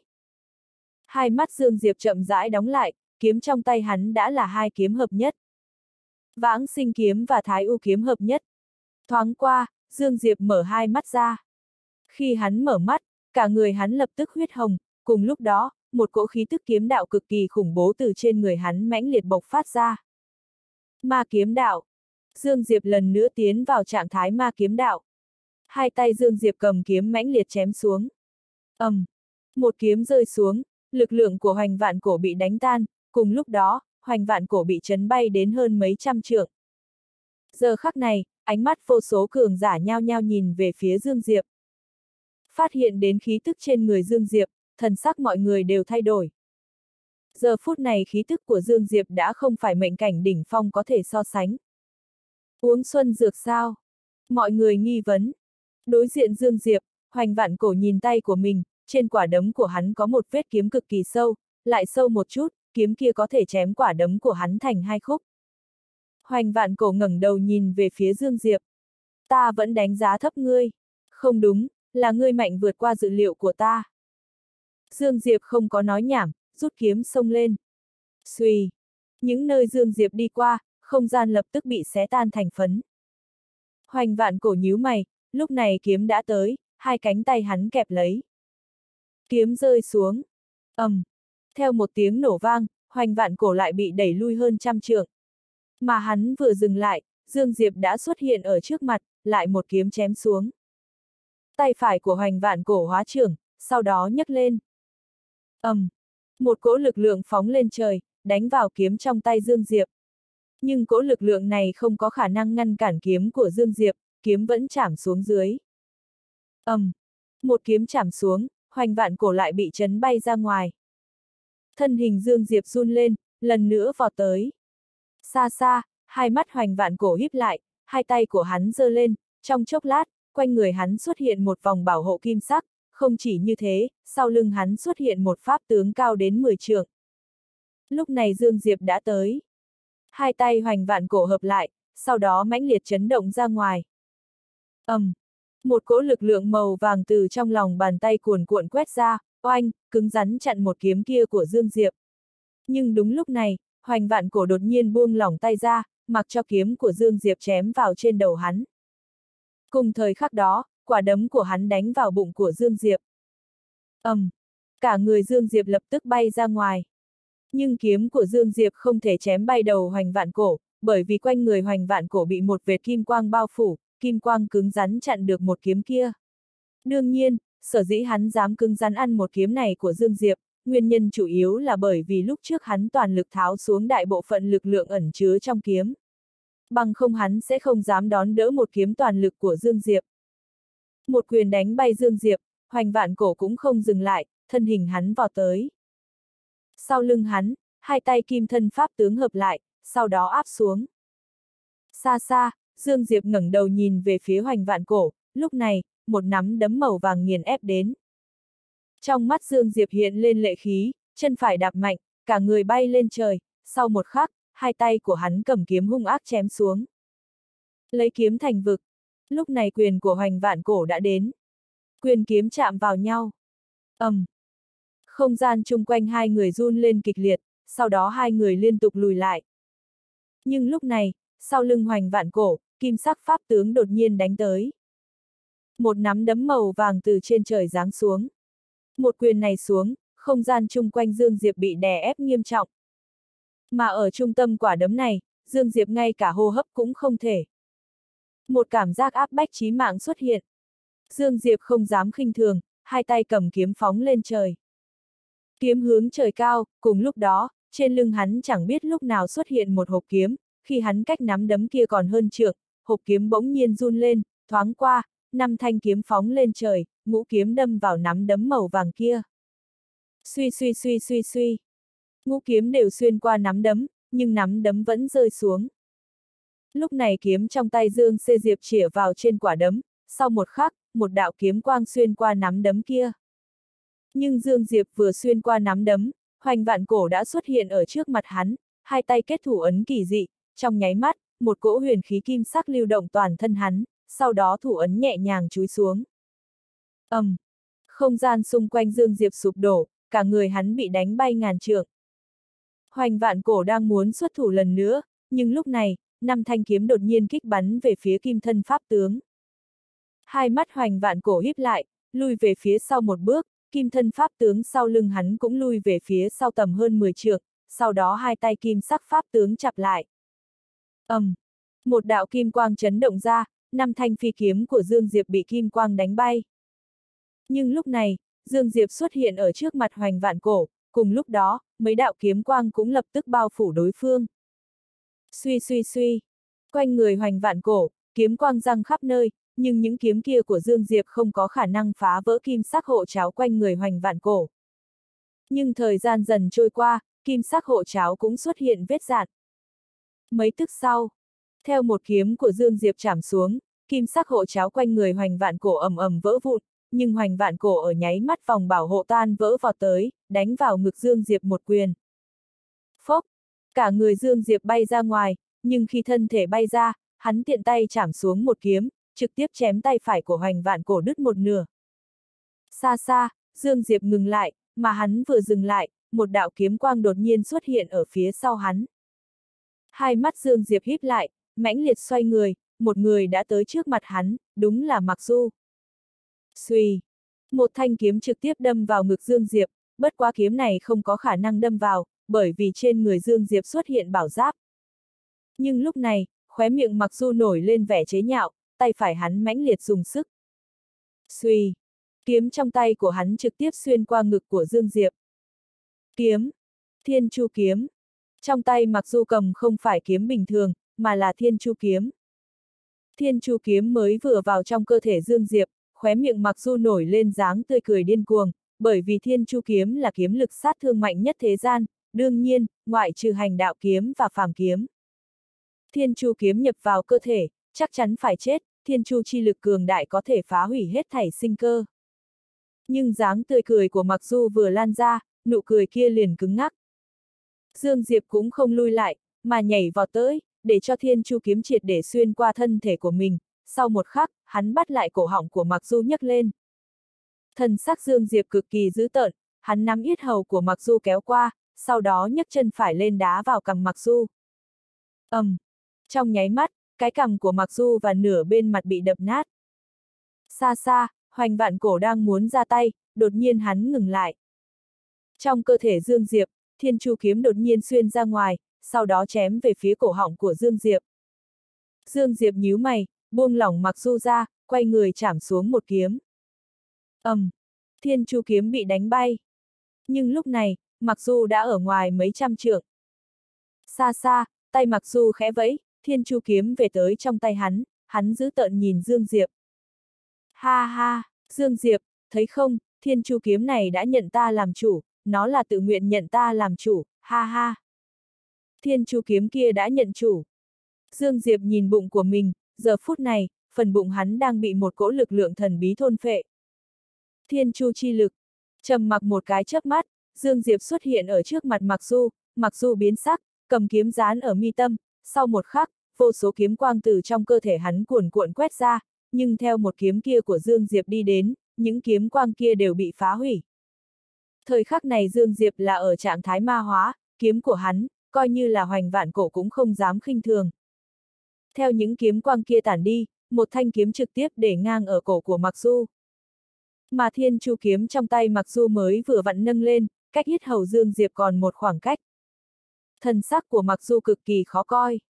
Lúc này một giọng nói đột nhiên vang lên ở trong đầu Dương Diệp. Có thể giao hắn cho ta không? Nếu ngươi nguyện ý, ta có thể giúp ngươi đẩy lùi quân địch. Dương Diệp ngẩng đầu nhìn thoáng qua hư không. Lão tử cần ngươi hỗ trợ sao? Nói xong, kiếm xoay chuyển. Xuy. Đầu mặc dù bay ra ngoài. Mà thời điểm đầu mặc dù bay ra ngoài, linh hồn hắn vậy mà chia lìa thân thể, sau đó bắn tới bầu trời. Muốn chạy trốn. Phía dưới, một thanh kiếm phóng lên trời, trực tiếp xuyên thấu linh hồn của Mặc Du. Linh hồn Mặc Du ngừng lại, hai mắt hắn nhìn phía trước, ngốc trệ vô thần. Tay phải Dương Diệp khẽ vẫy, một thanh kiếm về tới trong tay hắn. Kiếm này là vãng sinh kiếm. Dương Diệp cũng không có đi quản Mặc Du, mà nhìn nhìn bụng của mình, nơi đó vết thương đang lấy tốc độ cực nhanh khôi. Phục. Đây tự nhiên là công lao của Tiểu Bạch, nếu như là người bình thường, bị thiên chu kiếm chọc vào trong cơ thể, nhất định là khó sống. Nhưng Dương Diệp hắn bất đồng. Hắn có vài loại huyền khí cường đại nhất thế gian, hơn nữa những huyền khí này còn liên tục không ngừng.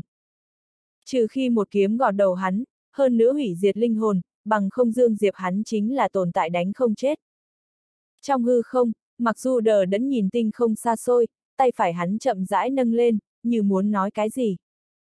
Nhưng vãng sinh chi lực không ngừng phá hủy hắn. Mặc dù hắn không có tiểu bạch, càng không có vãng sinh chi lực, bởi vậy đối mặt một kiếm này, hắn căn bản vô lực ngăn cản. Chỉ có thể chờ đợi chết. Dương Diệp ngẩng đầu nhìn hư không vô tận, tay phải nắm kiếm thật chặt, trong mắt của hắn rất bình tĩnh, nhưng lệ khí và sát ý quanh người vô cùng cuồng bạo. Đồ sát dám ra tay cứu người, hắn liền dám giết người. Hắn đánh không lại đồ sát, trăm phần trăm đánh không lại, nhưng nếu như đồ sát xuất thủ cứu mặc du, hắn đánh không lại cũng phải đánh. Mẹ kiếp, người sống chính là vì một hơi, nếu đối phương khi dễ như vậy, vậy hắn không cần nhìn. Lão tử đã bất cứ giá nào. Xa xa, hoành vạn cổ nhìn thoáng qua tinh không vô tận, lại không có ra tay. Linh hồn của Mặc Du càng ngày càng hư ảo, đến cuối cùng, Mặc Du đột nhiên điên cuồng cười phá lên, tiếng cười như sấm, chấn động thiên địa. Sau đó Mặc Du hoàn toàn biến mất ở trong mắt của Dương Diệp và Hoành Vạn Cổ. Khi hắn hoàn toàn biến mất, đồ sát vẫn chưa từng xuất hiện. Lúc này thiên chu kiếm đột nhiên run lên kịch liệt, phát ra một tiếng kiếm reo, có chút rên rỉ, sau đó nó phóng lên trời. Nhưng đúng lúc này, Dương Diệp đột nhiên xuất hiện ở trước mặt thiên chu kiếm, thiên chu kiếm trực tiếp chạm về phía Dương Diệp. Khóe miệng Dương Diệp nổi lên vẻ dữ tợn, thời điểm có chủ nhân cũng đánh không lại hắn, hiện tại không có chủ nhân, còn dám ra tay với hắn. Dương Diệp tay cầm vãng sinh kiếm mãnh liệt chém. ầm, um, thiên chu kiếm bị đánh bay, sau một khắc, thân hình Dương Diệp đuổi theo, thiên chu kiếm còn muốn phản kháng, nhưng lại bị Dương Diệp nắm ở trong tay. ầm, um, một cỗ kiếm khí từ trong thiên chu kiếm chấn động ra, Dương Diệp trở tay chúi xuống, kiếm khí bị đánh nát bấy. Dương Diệp tiện tay vứt thiên chu kiếm vào trong hồng mông tháp. Thiên chu kiếm thẳng tắp cắm vào phi thăng đài, nó vừa định phóng lên trời, lúc này một tiểu chảo đè ở trên chuôi kiếm. Đúng là tiểu bạch. Tiểu bạch nhìn thiên chu kiếm, mặt không biểu tình, khuôn mặt nhỏ nhắn kia hiếm thấy lạnh như băng. Thiên chu kiếm này từng cùng nàng quan hệ rất tốt, nhưng từ khi thiên chu kiếm này có linh mới, đặc biệt là sau khi thôn phệ những thiên chu kiếm khí kia, thiên chu kiếm này đã không phải là thiên chu kiếm lúc trước rồi. Tiểu bạch có chút trầm ngâm, rất nhanh, hai tiểu chảo của nàng trực tiếp nắm chuôi kiếm. Lúc này thiên chu kiếm đột nhiên bạo phát ra vô số kiếm khí, muốn xoắn giết tiểu bạch. Hai cái tiểu chảo của tiểu bạch mãnh liệt dùng sức. Trong chốc lát, những kiếm khí kia bị linh khí của tiểu bạch bao phủ, ngay sau đó, thiên chu kiếm rung động kịch liệt. Cong cong cong cong. Từng tiếng kiếm reo không ngừng từ trên phi thăng đài vang vọng lên. Hủy linh. Tiểu bạch rất ít hủy linh, bởi vì nàng cảm thấy như vậy rất tàn nhẫn. Nhưng lần này, nàng không thể nhẫn nhịn. Bên ngoài hồng mông tháp, Dương Diệp quay người nhìn về phía hoành vạn cổ, hoành vạn cổ khẽ nâng tay phải lên, trong chốc lát, một quang trụ màu vàng bao phủ hắn, thoáng qua, kim quang thổi quét qua. Khóe miệng Dương Diệp hơi cuộn lên, nụ cười kia có chút dữ tợn. Sau một khắc, một đạo kiếm quang lóe lên. Xùy! Những nơi kiếm quang đi qua, không gian yếu ớt như tờ giấy, lập tức bị cắt ra. Cứ như vậy, hai người lần nữa dùng phương thức trực tiếp nhất đụng vào nhau. ầm, um, không gian xung quanh bỗng nhiên run lên, rất nhanh, hai đạo nhân ảnh liên tục lùi lại. Xa xa, Dương Diệp ngừng lại, hắn lau máu tươi ở khóe miệng, sau đó đứng thẳng người, hai mắt chậm rãi đóng lại. Sau lưng Dương Diệp, năm thanh kiếm bắt đầu rung động, rất nhanh, năm thanh kiếm phóng lên trời, ngũ kiếm xuất hiện ở trong hư không, giờ khắc này, các cường giả đang giao chiến nhau nhau ngẩng đầu nhìn về phía hư không. Ngũ hành chi lực. Ngũ kiếm tản mát ra ngũ hành chi lực làm cho thần sắc của cường giả mạt pháp chi địa kịch biến. Hai mắt của hoành vạn cổ cũng híp lại, trong mắt ngưng trọng trước nay chưa từng có. Lúc này nơi xa, trường kiếm trong tay Dương Diệp chỉ về phía trước. Đi! Theo thanh âm của Dương Diệp rơi xuống, năm thanh kiếm từ bầu trời đáp xuống, ngũ kiếm sinh ra ngũ hành chi lực bắt đầu xé rách hết thảy. Giờ khắc này, những cường giả giao chiến kia nhao nhao lùi lại, rời xa khu vực của Dương Diệp và Hoành Vạn Cổ. Khu vực này đã trở thành chiến trường của Dương Diệp và Hoành Vạn Cổ. Mà bên kia, tương tự có mấy trận đại chiến đang tiếp tục. Chính là An Nam Tĩnh và Tá Mạc đại chiến, còn có kiếm vô địch cùng lệ đế đại chiến. Trong không gian, từng tàn ảnh trải rộng, trừ lần đó ra, trong vùng không gian này tràn. Ngập đao khí.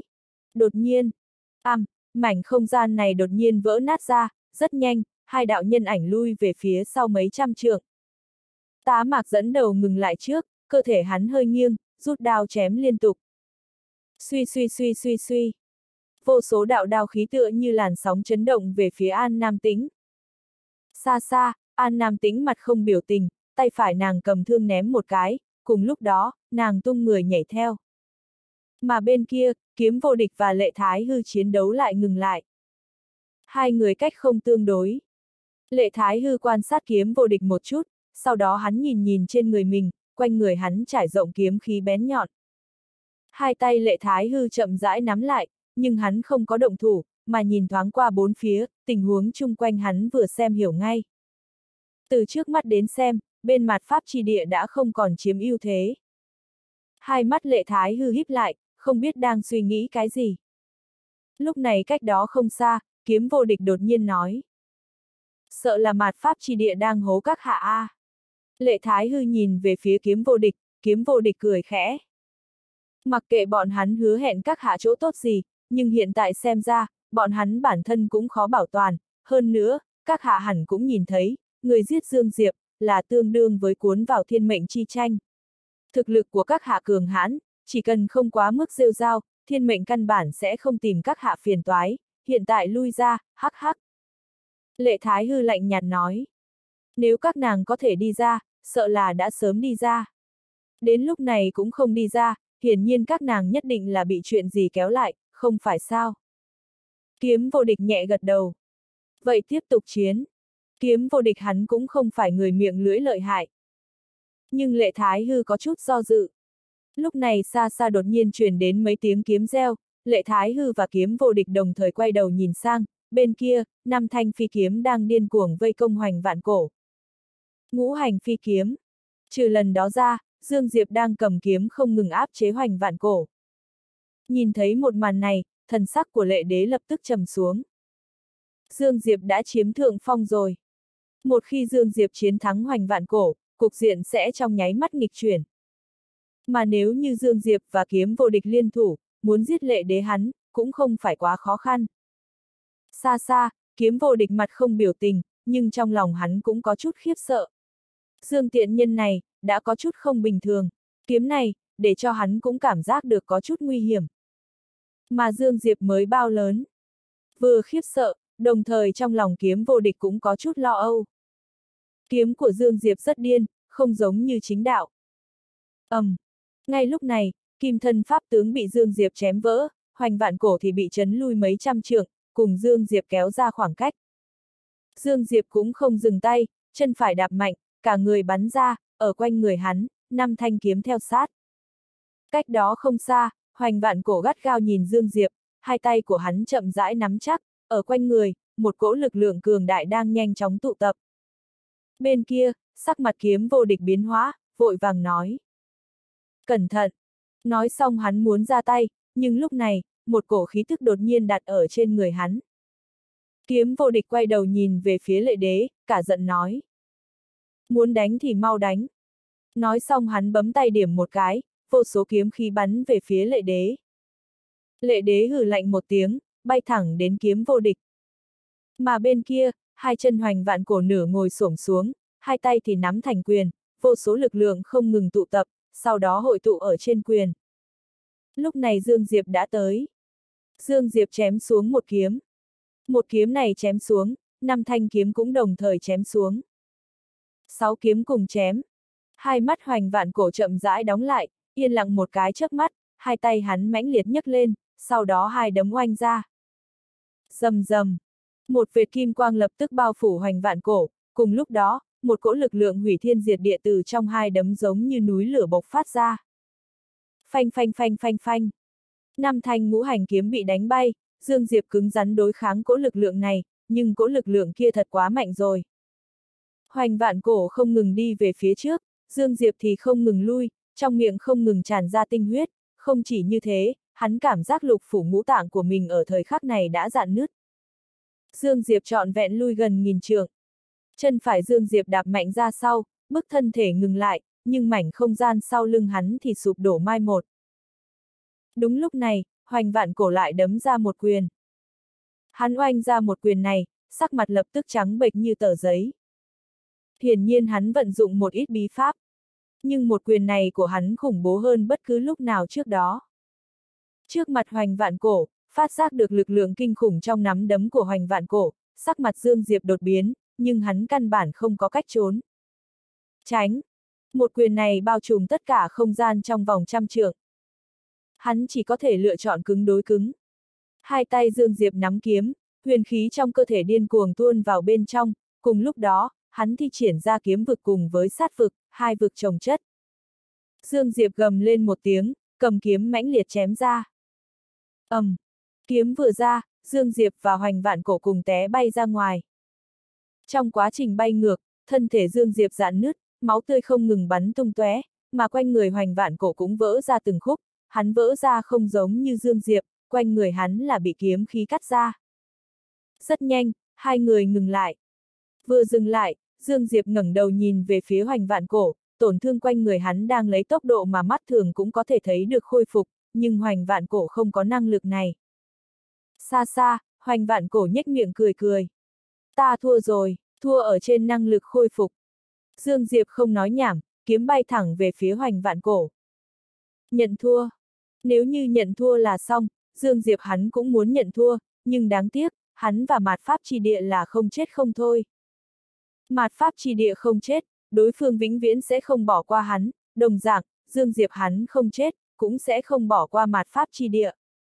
Chứng kiến Dương Diệp vọt tới, hai mắt hoành vạn cổ chậm rãi đóng lại, tay phải hắn nắm chặt, lần này sắc mặt hắn đã tái nhợt tựa như người chết, không chỉ như thế, kinh mạch quanh người hắn còn lồi lên.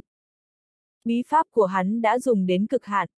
Một kiếm này, hắn không tiếp nổi, hẳn sẽ chết, hắn tiếp được, khẳng định cũng sẽ chết. Tình thế chắc chắn phải chết. Mặc dù là hẳn phải chết, nhưng thần sắc của hoành vạn cổ rất thong dong bình tĩnh. Sinh tử, sớm đã coi thường. Thời điểm hoành vạn cổ định ra tay, bất ngờ xuất hiện, không gian trước mặt hắn đột nhiên tạo thành một vòng xoáy quỷ dị. Cùng lúc đó, một cánh tay đen nhánh từ trong đó chui ra, cánh tay này nhẹ nhàng xoay tròn, sau đó chấn về phía Dương Diệp. Giờ khắc này, kiếm của Dương Diệp vừa ra, nhưng rơi xuống một nửa, Dương Diệp lại kinh hãi phát hiện, có một cỗ lực lượng cường đại ngăn trở kiếm của hắn. Sắc mặt Dương Diệp đại biến, thầm nghĩ không ổn, muốn lui về phía sau, nhưng lúc này, cánh tay kia đột nhiên điểm về phía trước, một điểm này, trực tiếp điểm vào mũi kiếm trong tay Dương Diệp. ầm, um, cả người Dương Diệp bị đánh bay ra mấy ngàn trượng. Bàn tay kia cũng không có xuất thủ lần nữa, mà rút về vết nứt không gian, nhưng trong đầu hoành vạn cổ và cường giả của mạt pháp chi địa đều vang lên một giọng nói. Rút lui. Nói xong, không gian bên người hoành vạn cổ đột nhiên nứt ra trăm trượng. Hoành vạn cổ không chút do dự, hắn liếc nhìn mọi người. Rút lui. Lúc này tá mạc về tới bên cạnh hắn, trước ngực tá mạc có một lỗ thủng màu đỏ.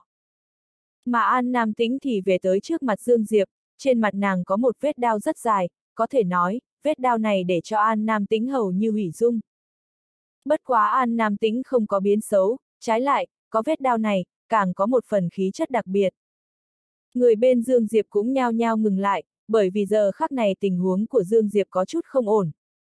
Cả cánh tay của Dương Diệp tựa như bị tạc nổ, đã hoàn toàn nứt toát, bên trong hiện ra xương cốt, không chỉ như thế, cả người hắn như đồ sứ bị va chạm, mặc dù không có triệt để nghiền nát, nhưng đã ở ranh giới bể tan tành. Vừa rồi một kích kia, đối với Dương Diệp quá chí mạng. Khá tốt có huyền khí của Tiểu Bạch và Hồng Mông tử khí, bằng không thương thế này của hắn hơn phân nửa sẽ xong đời. Xa xa, người của mạt Pháp trì địa không ngừng tiến vào kẽ hở kia, hoành vạn cổ chờ mọi người tiến vào hết, lúc này hắn mới đi về phía vết nứt không gian, đột nhiên hắn quay người nhìn về phía Dương Diệp. Tốt một cái Dương Diệp. Nói xong, hắn quay người tiến vào trong vết nứt không gian. Rất nhanh, vết nứt không gian biến mất, hết thảy khôi phục lại bình tĩnh. Giống như cho tới bây giờ chưa từng xuất hiện qua vết nứt không gian kia. Viêm vũ tộc và vãng sinh tộc tộc trưởng đi tới trước mặt Dương Diệp, chứng kiến Dương Diệp còn thở, bọn hắn lập tức thở dài một hơi. Bọn hắn đặt cược ở trên người Dương Diệp, nếu như Dương Diệp chết, hết thảy cố gắng và trả giá của bọn hắn đều trôi theo dòng nước. Lúc này kiếm vô địch và Thanh Huyền cũng đi tới trước mặt Dương Diệp, chứng kiến Dương Diệp có chút thê thảm, kiếm vô địch nhíu mày. Nhưng rất nhanh, kể cả kiếm vô địch ở bên trong, tất cả mọi người ngây người. Bởi vì Dương Diệp đang lấy tốc độ cực nhanh khôi phục. Tổn thương trên người hắn khôi phục cực kỳ nhanh, nhanh đến mọi người nhìn chân chối. Cứ như vậy, không đến nửa canh giờ, toàn thân Dương Diệp đã gần như hoàn toàn khôi phục. Dương Diệp đứng lên, lúc này người hắn đã bình thường, hắn nhìn mọi người nói. Đa tạ. Lúc này đây, nếu không có những người này tương trợ, dùng thực lực của hắn và An Nam Tĩnh, là tuyệt đối đánh không lại mạt pháp chi địa. Sự tình thực chứng minh, quần ẩu mới hữu dụng. Viêm Vũ cười nói. Dương Huynh nói đùa, người cũng giúp đỡ chúng ta không ít, chúng ta giúp người chút việc nhỏ này, không coi là cái gì, ngày sau nếu có cần, tùy thời gọi một tiếng. Nói đến đây, hắn có chút dừng lại, sau đó lại nói. Dương Huynh biết người mới vừa rồi xuất thủ là người phương nào không? Người mới vừa xuất thủ. Nghe vậy, thần sắc mọi người đều nặng nề. Vừa rồi Dương Diệp thiếu chút nữa bị cánh tay kia tiêu diệt. Thần sắc Dương Diệp cũng dần dần ngưng trọng lên. Bởi vì vừa rồi cánh tay kia, cho hắn cảm giác quá kinh khủng. Loại tình huống này, sau khi thực lực của hắn tăng cường, hắn chỉ ở trên người đồ sát cảm nhận qua. Mà vừa rồi chủ nhân của cánh tay kia, hiển nhiên còn không có dùng toàn lực. Có thể nói, nếu như đối phương đi ra ngoài, bên bọn hắn tuyệt đối không ngăn nổi. Nhưng đối phương không có ra tay, hiển nhiên là đang cố kỵ cái gì, Dương Diệp ngẩng đầu nhìn thoáng qua hư không, cố kỵ cái gì. Hiển nhiên là đang cố kỵ thiên mệnh. Dương Huynh, việc này sợ là còn phải bàn bạc kỹ hơn. Viêm Vũ nói. Vãng sinh tộc tộc trưởng nhẹ gật đầu. Xác thực cần bàn bạc kỹ hơn, không làm rõ ràng cường giả thần bí sau lưng mặt pháp chi địa kia, chúng ta tốt nhất đừng khinh cử vọng động cho thỏa đáng. Từ vừa rồi đến xem, thực lực của người thần bí kia hiển nhiên vượt xa tất cả mọi người. Dương Diệp cười nói. Ta biết. Nói xong hắn liếc nhìn mọi người. Chư vị, các người đi về trước đi. Nhớ rõ, sau khi trở về, hết khả năng giữ liên lạc, tốt nhất là thành lập truyền tống trận, một khi có nguy hiểm, mấy thực lực khác nhanh chóng trợ giúp. Đương nhiên, nếu như có vấn đề, tùy thời liên hệ ta. Vãng sinh tộc tộc trưởng và viêm vũ nhìn nhau, sau đó hai người nhẹ gật đầu, cuối cùng viêm vũ nói. Dương huynh, chúng ta cáo từ, bảo trọng. Nói xong, hắn cùng vãng sinh tộc tộc trưởng mang theo tộc nhân của mình quay người biến mất. Dương Diệp nhìn về phía dương tộc đại trưởng lão không hề rời đi. Đại trưởng lão có lời sao? Dương tộc đại trưởng lão nhẹ gật đầu, nhưng có chút do dự. Như thế nào? Dương Diệp hỏi. Đại trưởng lão than khẽ. Năm đó tổ tiên lấy mệnh bảo vệ dương tộc, để cho dương tộc ta được cửu thiên thập địa thừa nhận, nhưng sau nàng, dương tộc ta chưa gượng dậy nổi. Đặc biệt là sau khi nàng biến mất, dương tộc ta càng ngày càng tệ. Nói đến đây, hắn nhìn thoáng qua Dương Diệp, sau đó nói. Hiện tại chúng ta đối với người trong tộc nói, ngươi là người của dương tộc ta, chúng ta sẽ để cho ngươi trở thành đại biểu dương tộc, trọng trấn tin tưởng của thế hệ trẻ dương tộc, không đúng, hẳn là tin tưởng của toàn tộc chúng ta. Dương Diệp trầm mặc, đại trưởng lão lại nói. Nếu như ngươi chú ý, chúng ta. Dương Diệp cười nói. Chú ý cái gì, chỉ cần các ngươi không sợ bị ta liên lụy là tốt rồi. Nghe vậy, thân sắc của đại trưởng lão buông lỏng, tảng đá trong lòng rơi xuống, hắn cười nói. Cho dù ngươi có phiền phức ngập trời, dương tộc ta cũng nguyện ý cùng ngươi tiến thối. Lời ấy của lão phu, không có chút hư giả. Huyết mạch của Dương Diệp không phải huyết mạch thuần chính của Dương tộc, nhưng vậy thì như thế nào? Chỉ cần là nhân tài, hết thảy đều không là vấn đề, hơn nữa nghiêm chỉnh mà nói, Dương Diệp đúng là hậu đại của Dương tộc, tuy huyết mạch mỏng manh, đã biên giới hóa, nhưng chỉ cần có huyết mạch của Dương tộc là đủ rồi, cho dù là huyết mạch đã cực kỳ mỏng manh. Bởi vì cái này đại biểu hắn là người Dương tộc. Thực lực. Bất cứ lúc nào, thực lực mới là trọng yếu nhất. Không có thực lực, sự tình không là vấn đề cũng có thể biến thành vấn đề, có thực lực, hết thảy sự tình đều không là vấn đề. Một lát sau, đại trưởng lão mang theo cường giả dương tộc quay người rời đi. Trong chàng chỉ còn lại thương mộ, sát tịch còn có kiếm vô địch và thanh huyền. Kiếm vô địch nhìn thoáng qua không gian đám người mạt pháp chi địa rời đi, sau đó nói. Bọn hắn không đơn giản, hơn nữa mặc dù lúc này đây bọn hắn thua chạy, nhưng thực lực chỉnh thể vẫn còn, người phải cẩn thận. Dương Diệp gật đầu. Ta sẽ để người điều tra. Kiếm vô địch vỗ vai Dương Diệp. Thực lực của ngươi không tệ, nhưng kiếm đạo đều là loại hình cực đoan. Ai, sau này cẩn thận một chút, không nên bị kiếm khống chế. Còn nữa, tiểu tử ngươi không giống như một kiếm tu, càng giống một ti tiện tu, mánh khóe và tâm tư xấu rất nhiều. Dương Diệp. Kiếm vô địch cười ha ha, sau đó xoay người cùng Thanh Huyền biến mất. Dương Diệp lắc đầu cười cười, sau đó nhìn về phía thương mộ và sát tịch, thương mộ nói. Chủ thượng nàng như thế nào? Dương Diệp nói khẽ. Yên tâm, ta sẽ đi tìm nàng. Chuyện của Kỳ Bỉ Thiên và A Tú, hắn tự nhiên sẽ không quên, này cũng là chuyện hắn lo lắng nhất hiện tại. Phải biết, thiên mệnh lão đại còn khủng bố hơn mặt pháp chi địa nhiều. Hai người gật đầu, sau đó lặng yên rời đi. Sau khi hai người rời đi, Dương Diệp quay người, ở trước mặt hắn không xa, một nữ tử đi tới. Đồ sát. Hai mắt Dương Diệp híp lại, nắm chặt kiếm trong tay, tùy thời chuẩn bị liều mạng. Đồ sát tới cũng không phải bổn tôn, mà là một phân thân. Đồ sát đi tới trước mặt Dương Diệp, nàng cứ như vậy nhìn Dương Diệp. Dương Diệp mặt không biểu tình, không yếu thế chút nào mắt đối mắt. Sau một lúc lâu, đồ sát khẽ cười nói. Chút mặt mũi này cũng không cho sao. Dương Diệp lắc đầu. Từ vừa mới bắt đầu đến bây giờ, hắn muốn giết ta rất nhiều lần. Mà ngươi không có ngăn cản qua hắn, nhưng thời điểm ta muốn giết hắn, ngươi lại đi ra ngăn cản. Nếu như đổi lại là ngươi, ngươi sẽ như thế nào? Đồ sát nhìn thoáng qua Dương Diệp, sau đó nàng quay đầu nhìn về phía cách đó không xa, chính là chỗ trước kia linh hồn mặc du. Tiêu tán, nàng cứ như vậy nhìn hồi lâu, cuối cùng nàng nói khẽ. Phải nói là ta hại hắn, ta để cho hắn có dã tâm nhưng không đủ thực lực. Dương Diệp không nói gì. Mặc dù là nàng một tay nuôi lớn, tự mình bồi dưỡng, nếu như nói không có cảm tình, đó là không có khả năng.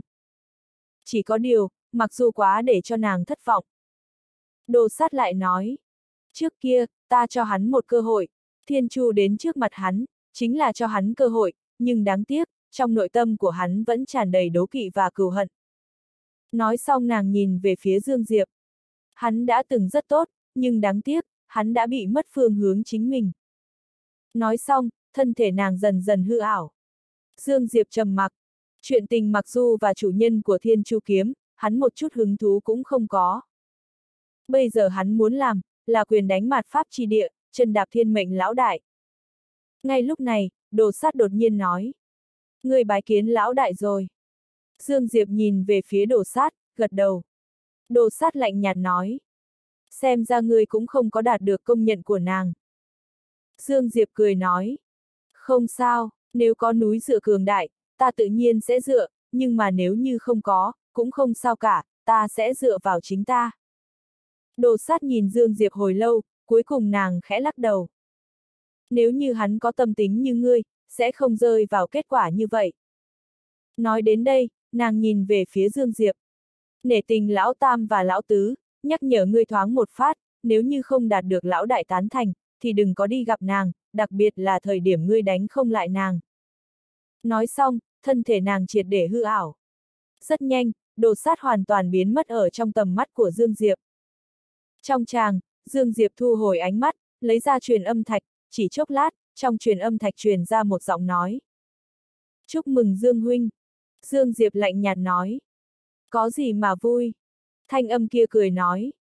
Dương Huynh đánh bại mạt pháp chi địa, còn không đáng được vui mừng sao?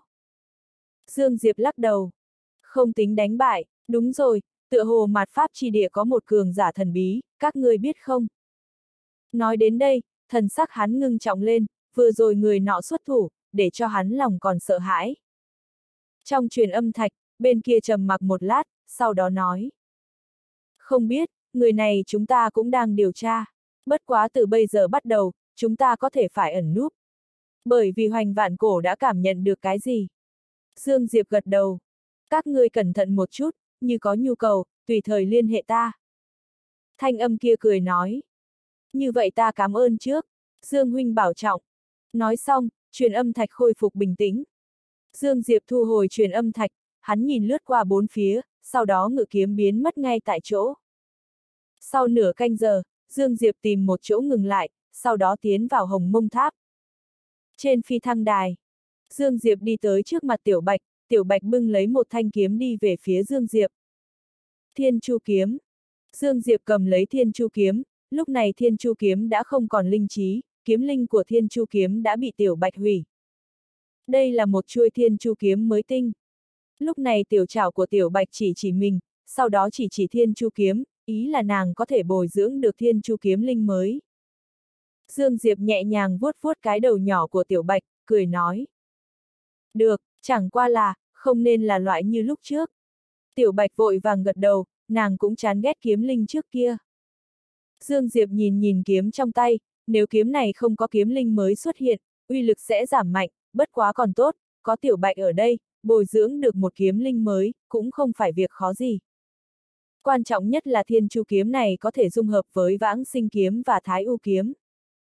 Dương Diệp thu kiếm, sau đó ôm Tiểu Bạch đi tới chỗ ở của nhị nha, thời khắc này nhị nha lại có biến hóa mới, đôi sừng của nàng đã biến thành màu ám kim. Trừ lần đó ra, cái đuôi của nàng cũng phát sinh biến hóa. Trên đuôi nàng có một cỗ quang trạch màu ám kim thần bí đang lưu động. Không chỉ cái đuôi, toàn thân nàng cũng thỉnh thoảng có màu vàng sậm dập dờn. Trừ lần đó ra, khí tức quanh người nhị nha cũng càng ngày càng lớn mạnh, lực lượng cường đại kia để cho hắn hiện tại cũng có chút tim đập nhanh. Ngoài khiếp sợ, Dương Diệp cũng có chút đắng chát, nhị nha này ăn hai viên nội đan có thể khủng bố như vậy, mà hắn đi đến bây giờ, bỏ ra rất nhiều. Kỳ thật cũng bình thường, nhị nha là tìm về lực lượng lúc trước, mà hắn bất đồng, bởi vì hắn căn bản chưa có từng. Dương Diệp một mình đi tới chỗ ở của An Nam Tĩnh, An Nam Tĩnh xếp bằng ở chính giữa phòng, cảm nhận được Dương Diệp đến, nàng mở mắt. Như thế nào? An Nam Tĩnh nói. Ta cảm giác được, hắn còn ẩn giấu thực lực. Ẩn giấu thực lực. Hai mắt Dương Diệp híp lại. Người nói là, hắn không có phát huy ra toàn bộ thực lực. An Nam Tĩnh gật đầu. Hắn đang ẩn núp, nhiều lần ta thiếu chút nữa bức hắn đến cực hạn, nhưng mỗi khi đến thời điểm này, một loại cảm giác nguy hiểm sẽ vọt lên tâm trí ta. Nói xong nàng nhìn về phía Dương Diệp. Lần sau gặp được, nhất định phải cẩn thận. Hắn lưu lại một tay, không phải để đối phó ngươi, chính là dùng đối phó thiên mệnh. Dương Diệp gật đầu. Mạt pháp chi địa này cũng đồng dạng lưu lại một tay. Nói xong hắn nhìn về phía An Nam Tĩnh, cười nói. Hiện tại không đi được chứ? An Nam tính gật đầu. Tự nhiên, nàng bây giờ, nhất định là sẽ không rời đi, bởi vì bây giờ là thời điểm Dương Diệp cần người nhất, Dương Diệp bây giờ, không chỉ bị người của mạt pháp chi địa ngấp nghé, còn có thiên mệnh lão đại. Tồn tại hầu như vô địch kia. Sau khi cùng An Nam tính tán gẫu, Dương Diệp đi ra hồng mông tháp. Mà Tiểu Bạch thì tiếp tục lưu lại hồng mông tháp bồi dưỡng thiên chu kiếm. Đồ sát cũng không có mang thiên chu kiếm đi, mà kiếm linh cũ của thiên chu kiếm đã diệt, bởi vậy Dương Diệp tự nhiên sẽ không buông tha cho kiếm này. Đến lúc đó ba kiếm hợp nhất, uy lực nhất định bạo tăng. Bên ngoài hồng mông tháp, Dương Diệp nhìn lướt qua bốn phía, ngay lúc này, truyền âm thạch trên người hắn đột nhiên vang lên. Vĩnh Hằng quốc độ phá. Vĩnh Hằng quốc độ phá. Dương Diệp nhíu mày, thanh âm kia lại nói. Hoàng tộc đã đánh vào Vĩnh Hằng quốc độ, bởi vậy, nguyên bản có chút thế lực chưa quyết định đều dối rít gia nhập hoang tộc, bây giờ vạn giới đang điên cuồng thôn phệ chia cắt vĩnh hằng quốc độ, chỗ đó rất loạn. Dương Diệp trầm giọng nói. Hoang tộc có giúp đỡ gì sao? Thanh âm kia nói. Khả năng có liên quan tới ngươi. Dương Diệp khó hiểu. Thanh âm kia tiếp tục nói. Thứ nhất, ngươi mang đi cả thế lực của Linh Cung, đương nhiên coi như Linh Cung ở đây, sợ là cũng không có ích lợi gì. Nguyên nhân chân chính là ngươi giết người bên thủy nguyên chi địa, còn có nữa là mạt pháp chi địa bị ngươi kiềm chế, làm cho vĩnh hằng quốc độ căn bản không có ngoại viện. Không có thủy nguyên chi địa cùng mạt pháp chi địa, vĩnh hằng quốc độ căn bản tìm không thấy giúp đỡ, phải biết bọn hắn bài xích vạn giới, vạn giới rất oán hận bọn họ, duy nhất có thể trợ giúp bọn họ, chính là thủy nguyên chi địa và mạt pháp chi địa, nhưng mà hai địa phương này, một cái bị ngươi diệt, một cái bị ngươi kiềm chế. Dương Diệp lắc đầu, điều này cũng có thể trách lên đầu mình sao? Thanh âm kia lại nói. Vĩnh Hằng quốc độ có kết cục hôm nay, là bọn hắn gieo gió gặt bão. Đương nhiên, nói thật, nếu như không phải ngươi diệt thủy nguyên chi địa, hiện tại lại kiềm chế mặt pháp chi địa, để cho mặt pháp chi địa căn bản không thể rảnh tay đến giúp Vĩnh Hằng quốc độ, Vĩnh Hằng quốc độ không nhất định sẽ bị diệt. Phải biết, Vĩnh Hằng quốc độ kinh doanh nhiều năm như vậy, hơn nữa chỗ kia lại có thần mạch, chỉ cần bọn hắn chịu đánh đổi một số thứ, vẫn có thể để cho hai địa phương kia xuất thủ. Dương Diệp lắc đầu. Không nói cái này, đúng rồi, đã tìm được người của hồn giáo chưa? Hồn giáo. Thế lực này lúc trước đuổi giết hắn khắp thế giới, hắn tự nhiên không quên.